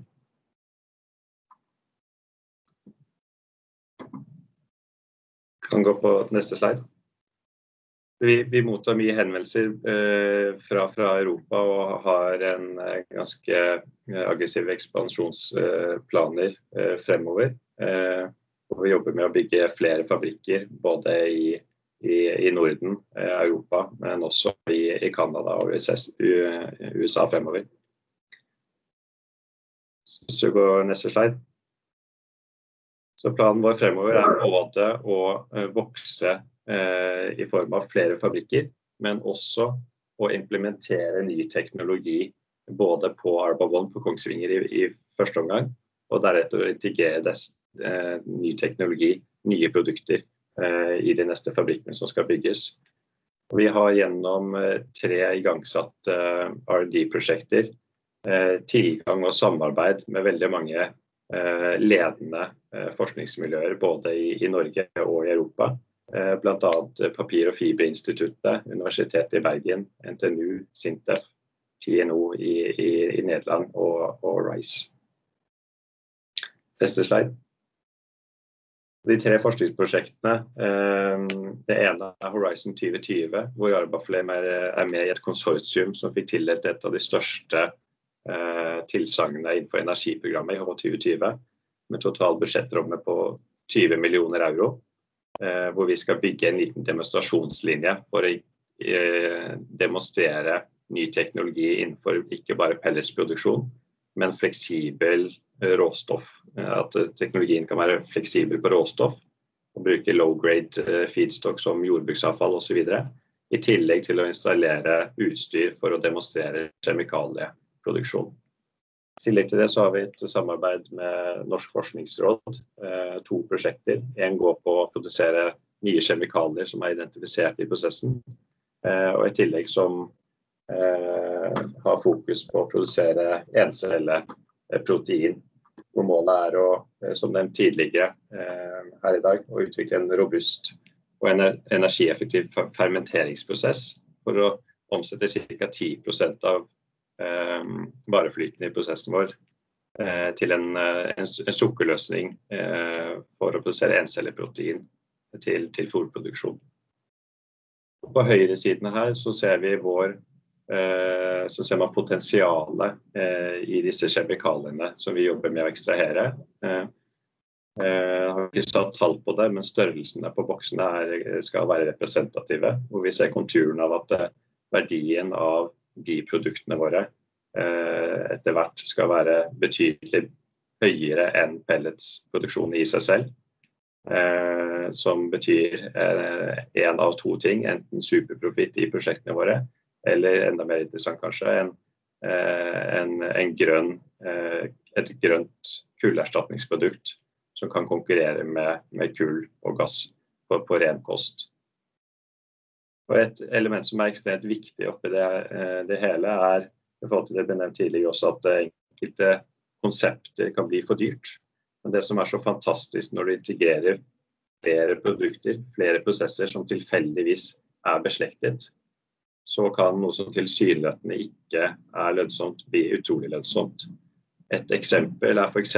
furfural, som vi ser på, på, på sliden her, eh, som vi skal gjøre på Arba One i dag. Der er det slik at det tilfeldigvis er prosessen vår for å produsere den, eh, den pellesen vi skal gjøre, Eh, veldig lik hvordan man produserer furfural eh, fra før av. Så vi har allerede gjort 90% av jobben. Så vi trenger bare å investere og, og, og gjøre siste 10% av prosessen som skal til for å produsere furfural. Så gjør at det blir et rent bidrag i hele prosessen. Og tilsvarende fordeler ser vi for de nye andre kjemikaliene som er eksemplifisert her. Eh, når det gjelder fôrproduksjon, så har vi ikke 90 av prosessen for det allerede i prosessen vår, men vi har nye, mye. Eh, og iallfall en god start som vi skal se på om det går an å integrere i, i vårt konsept.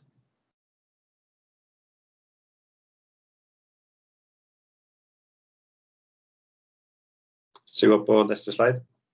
Det som er veldig viktig for oss, er å ha kort tid fra forskning til kommersialisering og Eh, eh, og, og, og demonstrasjon i industriell skala. Eh, og Måten vi får til det på, er å ha tett samarbeid med ledende forskningsmiljøer og prosjekter sammen med forskningsmiljøene.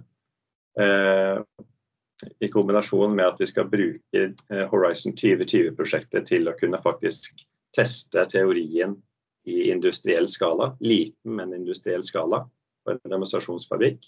Neste slide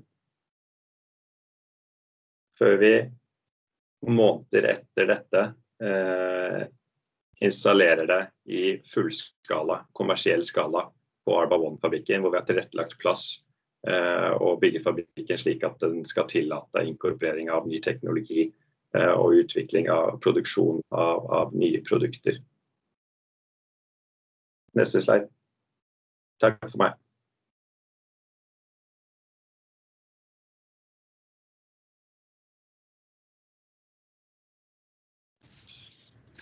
Tusen takk skal du ha, Bjørn.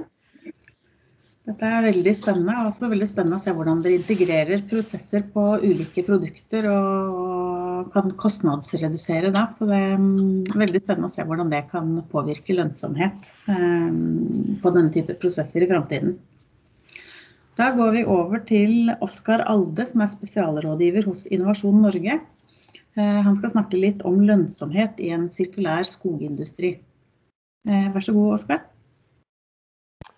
Hei alle sammen. Tusen takk for uh, å få lov til å være med og holde en kort presentasjon. Jeg skal prøve å holde det uh, lettfattelig og kort.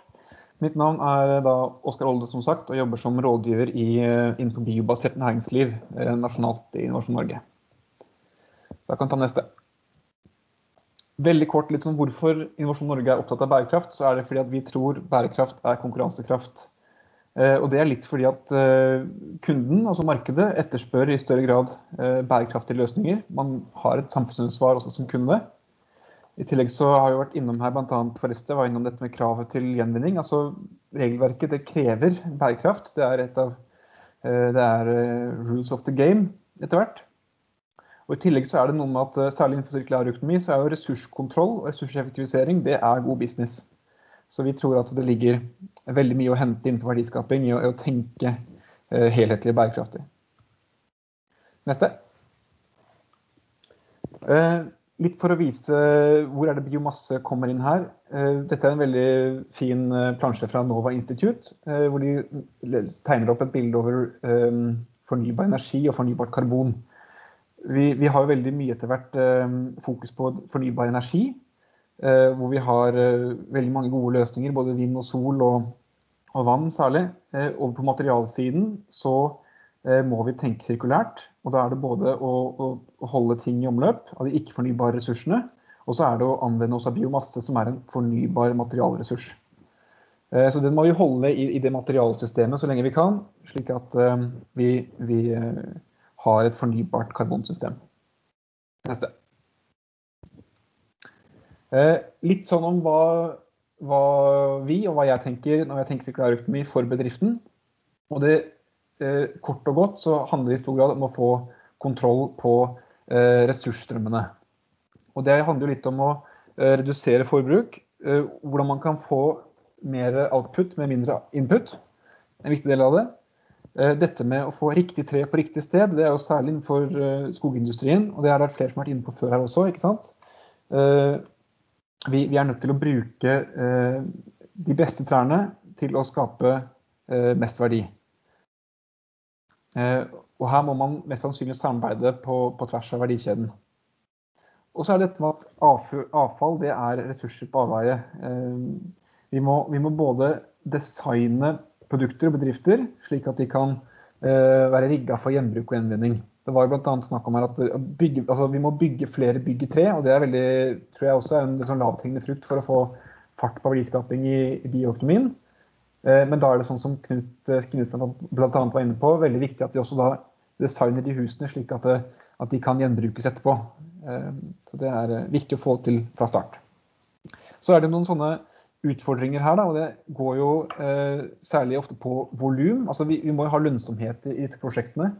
Eh, og må, det er ofte snakk om store kapitalinvesteringer, så, så, man er nødt til å få store nok volumer eh, til at det skal være lønnsomt. Og da, Det som hører til der ofte, også er at vi må ha veldig gode logistikkløsninger. Og så må veldig mange kanskje utfordre sin egen forretningsmodell og se om man er rigget for sirkulær tankegang. Eh, de, de, de produktene som man selger, eh, man, hvordan skal man få de ressursene i de produktene tilbake igjen i, som nytt råstoff ved en senere anledning. Og så er det reguleringer. Eh, blant annet så så er det en del eh, forskrifter bl.a. i byggebransjen på tech, og kanskje også i, i dette med, med, mat og, og husdyr på, i Mattilsynet bl.a., som kan hindre sirkularitet. Så her må man eh, jobbe på tvers av offentlig og privat for å, for å redusere de reguleringene. Og sånn som Hoen var inne på, så er jo teknologi en veldig viktig pådriver for eh, effektivisering. Og det som kanskje har vært særlig gjeldende den siste tiden, det er jo digitalisering og sensorikk, som jeg tror eh, kan utløser veldig mye sirkularitet, og det ser vi allerede mye eh, eksempler på. Eh, digitalisering gjør at vi kan samle inn og analysere data om ressursene våre og ressursstrømmene våre veldig effektivt. Vi har fått helt nye markedsplattformer, sånn som f.eks. Eh, altså, Finn.no og, og, og Tice og, og Fjong og flere. Dette er jo eksempler som ikke går på skogbruk, men man, man, man har fått kanskje mer demokratiske markedsplattformer gjennom digitalisering. Og så er dette med digitale kommunikasjonsflater, internett, sosiale medier og lignende. Eh, det gjør at eh, det er mye lettere å få tak i informasjon, og det, det reduserer da den asymmetriske informasjonen som, som, kan være en barriere for utvikling. Hvis vi tar på neste slide, så vil jeg trekke frem dette her som et godt eksempel på hvordan man kan utløse eh, gode sirkulærøkonomiprosjekter i, i, i skogbransjen. Og det går litt på det at man har dette her er fra, fra Moelven eh, Våler. De har en helt ny sorteringslinje hvor de tar i bruk eh, avansert eh, sensorikk eh, for å kunne, kunne avdekke eh, kvaliteten på tømmerstokken og sortere i langt, langt flere eh, sorteringer enn tidligere. Det gjør at du da kan bruke riktig tre på riktig sted lettere. Neste slide. Litt tilbake til hva Innovasjon Norge gjør. Vi er en sparingspartner for bedrifter i hele landet. Vi kan tilby kapital, kompetanse og nettverk, og gjerne kombinasjon av disse. Er da vi får til mest. Neste. Vi er altså i hele Norge med regionkontorer eh, langs hele landet. Og vi ønsker å ha et veldig godt og tett forhold til de lokale bedriftene. Neste. Samtidig så har vi også sensorer ute i hele verden, og kan dermed være et flott bindeledd mellom Norge og utlandet. Neste. Litt sånn om noen spennende ordninger som er relevante nå. Dere har sikkert hørt om noe av dette fra før, men, men den, den, nyeste nå som kanskje er mest relevant, det er noe som heter Grønn konkurranseplattform. Som er et samarbeid mellom Forskningsrådet, Innovasjon Norge, Siva og Enova. Og det Målet her det er større industriprosjekter hvor konsortier jobber sammen med kommersialisering. Og det skal være en tydelig forskning og utviklingsdel i disse prosjektene. Målet her er jo da å, å, å speede opp og skifte til, til mer grønn og bærekraftig industri. Første fristen her det er allerede 6. januar. Det er frist for å søke forprosjekter. Det er støttegrensen på mellom, mellom 100 000 og 300 000 kroner. Med varighet opptil opp tre måneder. Så her vil jeg gå inn på søke opp dette her på Forskningsrådets sider, så finner dere mer informasjon. Men det er en veldig gyllen mulighet til å bygge opp et konsortie slik at man er klar til å søke hovedprosjekt når det blir lyst ut våren 2020. Så her er det bare å ta kontakt med, med Philip Lorentzen, som det står kontaktinformasjon til her, eller andre i, i, systemet, så kan dere få mer informasjon om denne plattformen. Neste. I tillegg da så har Innovasjon Norge en egen bioøkonomiordning. Dette er et veldig fleksibelt virkemiddel, spesielt rettet mot det biobaserte næringslivet. Vi har masse gode prosjekter innenfor skogsektoren som har fått støtte gjennom bioøkonomiordningen. Målet her er at vi skal eh, prøve å utløse private og offentlige midler. Eh, eh, og, og, både internt i Innovasjon Norge, men også i andre virkemiddelorganisasjoner. Og, og bioøkonomiordningen er en veldig flott ordning for å, å søke om forprosjekter til, til ulike, ulike prosjekter. Neste. Eh, jeg vil også bare nevne her kort at eh, vi har et veldig tett samarbeid mellom Forskningsrådet, Innovasjon Norge og Siva, særlig eh, innenfor bioøkonomi. Grunnet i, i regjeringens bioøkonomistrategi. Og der jobber vi med å, med å koble bionæringens behov tydelig mot våre samlede virkemidler. I det siste så har vi sett litt på bl.a. på hvordan vi tydeligere kan koble bionæringene opp mot Sivas katapultordning. Så hvis dere har initiativer eller prosjekter eller ting dere er nysgjerrige på i hele, virkemiddelapparatet, ta gjerne kontakt, så kan vi diskutere prosjektene nærmere. Neste slide. Dette, en, en kjapp, dette det blir jo bare en kjapp eh, intro, eh, men, men, her er eh, en oversikt over fem av disse katapultsentrene til Siva. Det er, det er altså sentre hvor bedrifter kan komme og og både få kompetanse innenfor, eh, innenfor, teknologiområder, men også teste ut teknologien sin. Så det er testsenteret. Eh, neste slide. Dette er uh, siste sliden min, og jeg syns det var litt morsomt. Uh, en skigard kan ikke være evig, veit du. Det er jo en revysang fra 1974 fra Ukerevyen i Ås. Uh, og uh, det sangen handler om, er jo at en skigard er jo en stengsel fra mellom før og nå. Eh, og eh, jeg tror at det må også være Det er den abstrakte tanken her, at vi må gå fra en lineær økonomi til en sirkulær økonomi. Og samtidig så tenker jeg at det, det som er fint med skigarder, er at når det som også er fint med bioøkonomi, er jo at når denne skigarden der har råtnet opp, så har det vokst opp ny, et nytt tre i skogen rundt som kan lage en ny skigard. Så der har du sirkulær bioøkonomi i en plansje. Takk for meg.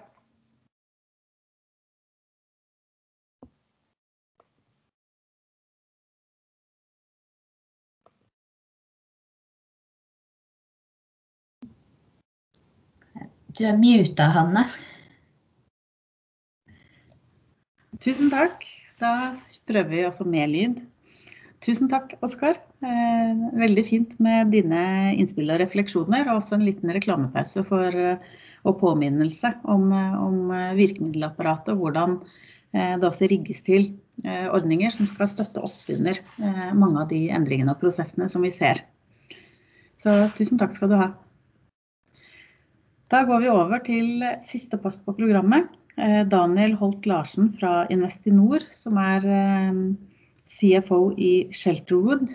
Shelterwood er et samarbeid mellom Investinor, Norske Skog, Skogkapital og Borregaard. Og det kan godt hende det er enda noen flere, Daniel. Temaet ditt er hvorfor investere i skog og hvordan utløse kommersielt potensiale og skape industrivekst og nye arbeidsplasser. Så nå gleder vi oss til å høre dine innspill, Daniel. Ja, det er jo et veldig omfattende tema. Jeg skal prøve å dekke i hvert fall hvordan, altså vår take, take på det. Jeg regner med at de fleste, fleste av dere kjenner Investinor, så vi vi er et investeringsselskap med, med ca. 8 milliarder under, under, forvaltning, og så investerer vi de fleste ulike sektorer, faser og kategorier som en aktiv eier. Og vi har ca. 5 milliarder satt av til, til, investeringer direkte i, i vekstselskap, hvorav 500 millioner er, er øremerket til skogindustri og, og skogrelaterte sektorer.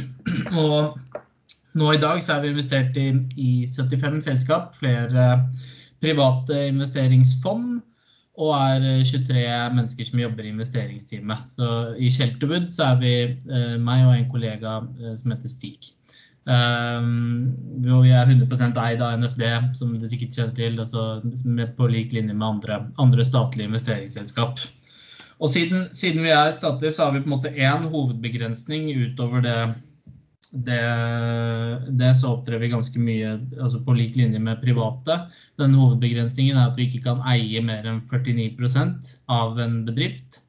Vi kan heller ikke delta med mer enn 49% i en emisjonsrunde, altså en investering i en bedrift. Og i den aktuelle emisjonsrunden så må da også 70% komme fra nye investorer. Og um, vi investerer jo ganske mye i, i helse- og teknologiselskap, um, hvor vi har sånn ca. 75% av verdiene våre. Og i disse markedene så er ikke disse, denne begrensningen noe særlig problem, men, men, uh, men i akkurat uh, skogindustri så har den imidlertid vært et, et, problem. Da. Og vi ser at det er mangel på, på kapital og, og, kompetanse som liksom kan komme sammen med oss når vi, når vi skal investere i, i selskap i denne industrien. Så vi stopper til neste slide. Og neste slide. Så, og det er et sammen, litt sånn sammensatt problem. Vi har noen få veldig store og gode industrilokomotiv i, i Norge, bl.a. Bygma og Forestia, som er her i dag, eh, med færre enn en andre land. Og dette kan skyldes at det er andre industrier som har eh, tatt eh, mer oppmerksomhet når det gjelder eh, kapital, og hatt mer tilgang til det. Det ser ut til å, til å endre seg litt, litt, fremover nå. Og skogeierne i Norge også da, på, som liksom bekostning av det, har, eh, har, ikke samme kapitaltilgang som, som det vi ser hos, hos naboene våre. Og således også private investorer og investeringsmiljøer de viser har vist i hvert fall lite interesse for sektoren, og det kan skyldes igjen da få suksesshistorier, sånn generelt noe så enkelt som på en måte mediedekningen av, av denne sektoren, og, og mangel på, på kompetanse og, og, evnen til å se de mulighetene. Da. Statlig kapital det fungerer veldig bra gjennom Oscar og Co., Innovasjon Norge og andre forskningsmiljøer vi har. Men vi har jo da sett at, at vårt mandat ikke fungerer på en måte optimalt for å, for å få til det oppdraget vi har. Um, og da landet vi på noe som kan i hvert fall begynne å, å bidra til å løse dette, og det, det er Shelterwood. Så stopp til neste slide. Så bare sånn kort bakgrunn rundt det. Da, på, på, det var uh, i, i, løpet av det første året mitt i Investinor um, så skulle jeg holde et sånt innlegg på skog og tre, som er den største, største, største skogeventet i, i Norge. Uh, hvor det er over 400 mennesker i salen. Og da var Hans Christian Gabrielsen, LO-lederen, han var på scenen før meg og holdt en sånn, i en sånn uh, paneldebatt og snakket om hvor, hvor, hvordan, hvorfor det ikke fungerte, mandatet til Investinor og hvordan man burde endre det og alt mulig sånn. Så skulle jeg opp på scenen rett etterpå og liksom prate om en investering vi hadde gjort. Så det gjorde meg ikke noe, noe irritert, eller noe sånt, men det, det, gjorde at jeg i hvert fall begynte å tenke en god del. Er det liksom noe vi kan gjøre og tenke litt annerledes på her? Eh, som gjør at vi får gjort en god del flere investeringer. Vi hadde bare gjort to investeringer siden 2013, da, og det var i 2000 2018. Um, og da begynte vi å spare litt med skogeierne, Norsk Skogkapital, som da representerer alle samvirkelagene, på, på en mulig løsning på det som, som, vi kom opp med, som da er Shelterwood. At vi starter et felles investeringsselskap som, som vi forvalter. Og så henter vi kapital fra, fra, næringen og industrien og, andre aktører som ønsker å, å være med på en, en, sånn type reise. Så vi har 50 millioner eh, eh, i, i Shelterwood, eh, så det er ikke det største, men det er i hvert fall en, en start. Og vi investerer i, i selskap i litt tidligere faser og opp mot en, måte, en venturefase. Og som, som, dere ser her, så har vi jo investert i, i Arbaflame ganske nylig, gjorde vi nå siste halvåret. Uh, og, og, et par-tre andre som vi, vi, har sittet med uh, nå gjennom dette året, Greenbringer, uh, som kanskje ikke alle kjenner til, er, er kortreist ved driver de. Så det er et, en nettside for handel av, av, ved for private konsumenter. På denne måten så har vi på en måte løst dette medinvestorproblemet som vi så. Så nå kan vi investere direkte og på en måte være eneste part som går inn i selskapet, siden all kapitalen allerede er på plass i Shelterwood og den 49 %-begrensningen på en måte bortfaller. Så vi stopper til neste slide. Kjelt ut så har vi da identifisert noen eh, særlig interessante investeringsområder. Det vi investerer mest i og, og jobber mest med også fra, fra Investinor-siden, det er eh, bygg i tre, hvor, hvor, flere tekniske begrensninger er blitt fjernet, som, som Hans Fredrik eh, nevnte tidligere også. Og appetitten fra markedet er, er veldig sterk, og vi, vi, forventer og tror at den, den, kommer til å fortsette. Innenfor bioindustrier eh, så er Arbaflame et godt eksempel på det. Det har tidligere, altså liksom Selskapene vi har sett på der har vært veldig kapitalkrevende tidligere, med mange på en måte i en veldig tidlig fase. Da er det litt vanskelig for oss, fordi det krever såpass mye kapital og såpass mye tid å få på plass. så da da har ikke det vært helt muligheter eh, vi, vi, har sett har vært mulig for oss, men nå er det betydelig bedret, og du har fått ganske mange i, i en litt senere type vekstfase. Eh, som, som, gjør det til et veldig godt tidspunkt for oss for eksempel, å gå inn i Arbeidsfrem og bidra med vår kompetanse på å bygge, bygge eh, bedriften til å bli større og ledende, og også fra, fra et kapitalperspektiv videre innover i, i og utviklingen der på, på selskapet. Så er det effektivisering i verdikjede, som er en eh, punkt nummer tre her. Det er jo kortreist ved et godt eksempel på, selv om det ikke nødvendigvis er mot industri og, og prosess. Men, men, eh, i hovedsak alle ting som bidrar til at tømmer kommer lengre frem i verdikjeden, og som bedrer den tilgangen, det, det er vi veldig interessert i. Vi ser eh, noen gode eksempler på noen teknologiselskap som ligger i, i, utlandet. Ikke så veldig mye av det i Norge, men vi håper at det, det, blir bedre på sikt. Og så er det siste poenget her, og det er jo egentlig sånn overlapp mellom alle, i hvert fall én eh, og tre. Og det er at vi skaper navn som på en måte household names, altså liksom merkenavn som er sterke og, og som folk i samfunnet vet om. og og det tror vi også vil styrke industrien eh, og sektoren betydelig eh, fra også et sånt investorperspektiv over tid når vi lykkes med det. Og det, det er det mange som har lykkes med også, så Forresten er et godt eksempel med Walls to Paint og de tingene de, de selger gjennom byggevarekjeder. Og vi, vi har Kebony, eh, som vi har investert i gjennom Investinor, som også er et godt eksempel på, på et merkenavn som, som, blir sterkere og sterkere med tid. Neste slide. Ja, den her, jeg vet ikke om vi trenger å hoppe så veldig mye inn på den, men de, de vurderer jo mange ulike ting før vi går inn i et selskap. Uh, alt dette her er viktig. Det, det, siste er på en måte kanskje det aller viktigste, i hvert fall fra, fra Shelterwoods perspektiv, og det er hva, hvorfor skal vi investere i det selskapet her, og hva er det vi kan bidra med inn her.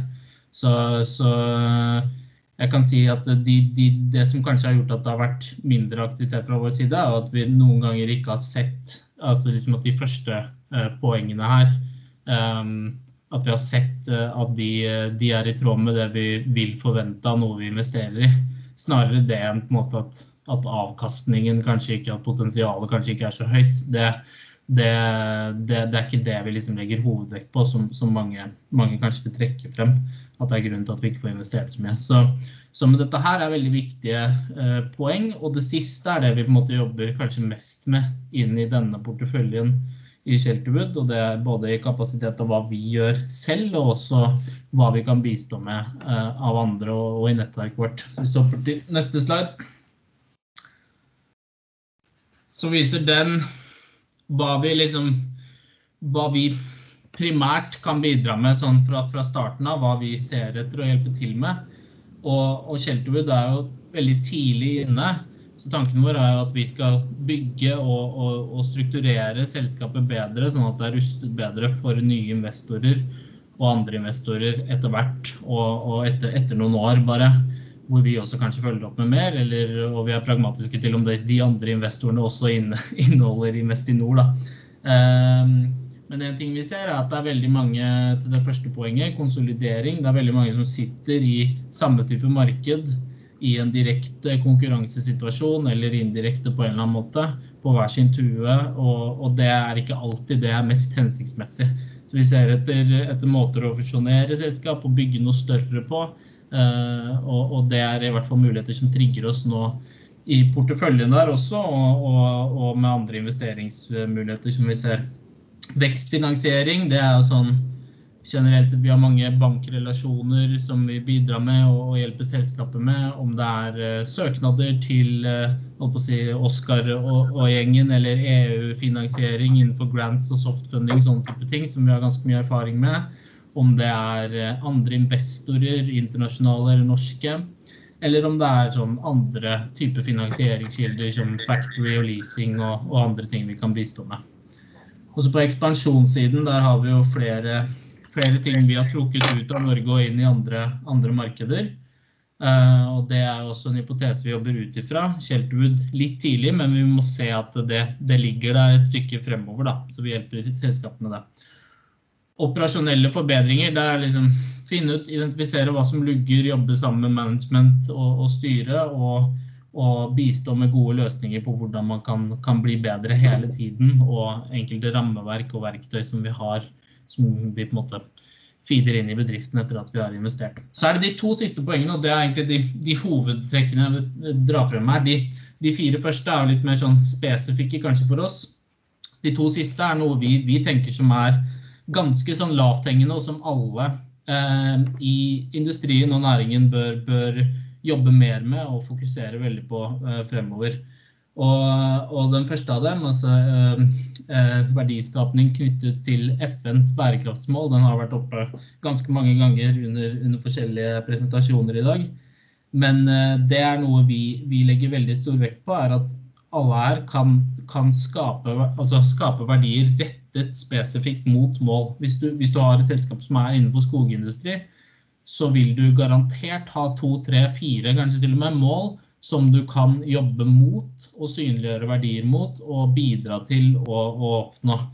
Og det er ikke bare rett fra et sånt eh, generelt eh, utviklingsløp og hvordan man tenker på det for, for, kloden og miljøet og alt som er, men også for, for eh, andre investorer, for eh, appetitten fra markedet, fra, fra kunder, om det er i, i, rekruttering av nye ansatte og yngre ansatte og talenter, så er det også et veldig viktig poeng. Og der, der tror vi det er ganske mye mer vi kan gjøre, og, og noe veldig mange selskap kan legge mer vekt på. Og så er det siste, siste poenget som jeg var inne på her litt delvis også, det er talentrekruttering til, til skog. Og som jeg var inne på tidligere, så er det et sammensatt problem hvorfor man på en måte er underkapitalisert da, opp mot andre industrier.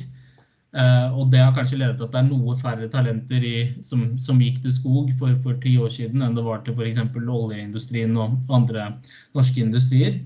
Men vi tror nå at det, det også uh, kommer til å løse seg da, ved å synliggjøre verdiene mye, mye bedre, og så vise hvor sentral skog er i, i, bærekraftig utvikling. Og ikke minst så har du også hatt ikke sant, Du har jo de fleste selskap innen denne industrien ligger kanskje ikke i de mest urbane sonene, og det kan også være en utfordring. Nå har vi gått gjennom 2020 som, som beviser ganske åpenbart for de fleste bedrifter at eh, ansatte kan være produktive uavhengig av litt hvor de sitter. Eh, så en fleksibilitet overfor det vil nok gjøre at man også kan hente flere talenter på sikt. Så det, det er også noe vi jobber veldig tett med, med selskapene våre på. Eh, hvordan vi driver talentrekruttering og, og, utvikling over tid. Så jeg tror hvis vi klarer å få frem de to siste tingene der enda tydeligere og, og lykkes enda bedre på de to områdene, så, så vil disse andre komme som en liten sånn konsekvens av det, og, og industrien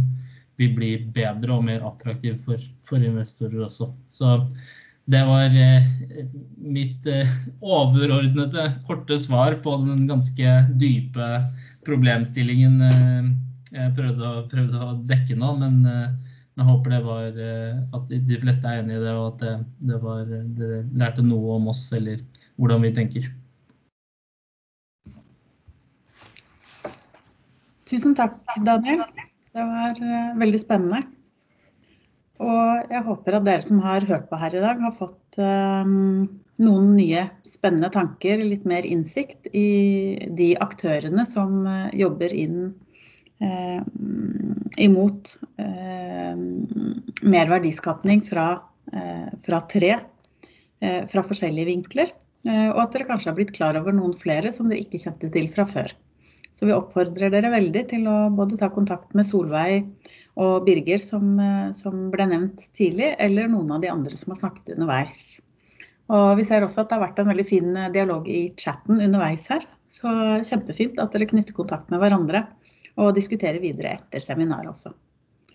Så da vil jeg gjerne si tusen takk til våre samarbeidspartnere NMBU og Norwegian Wood Cluster. Eh, og tusen takk til alle dere som har vært med her i dag. Tusen takk.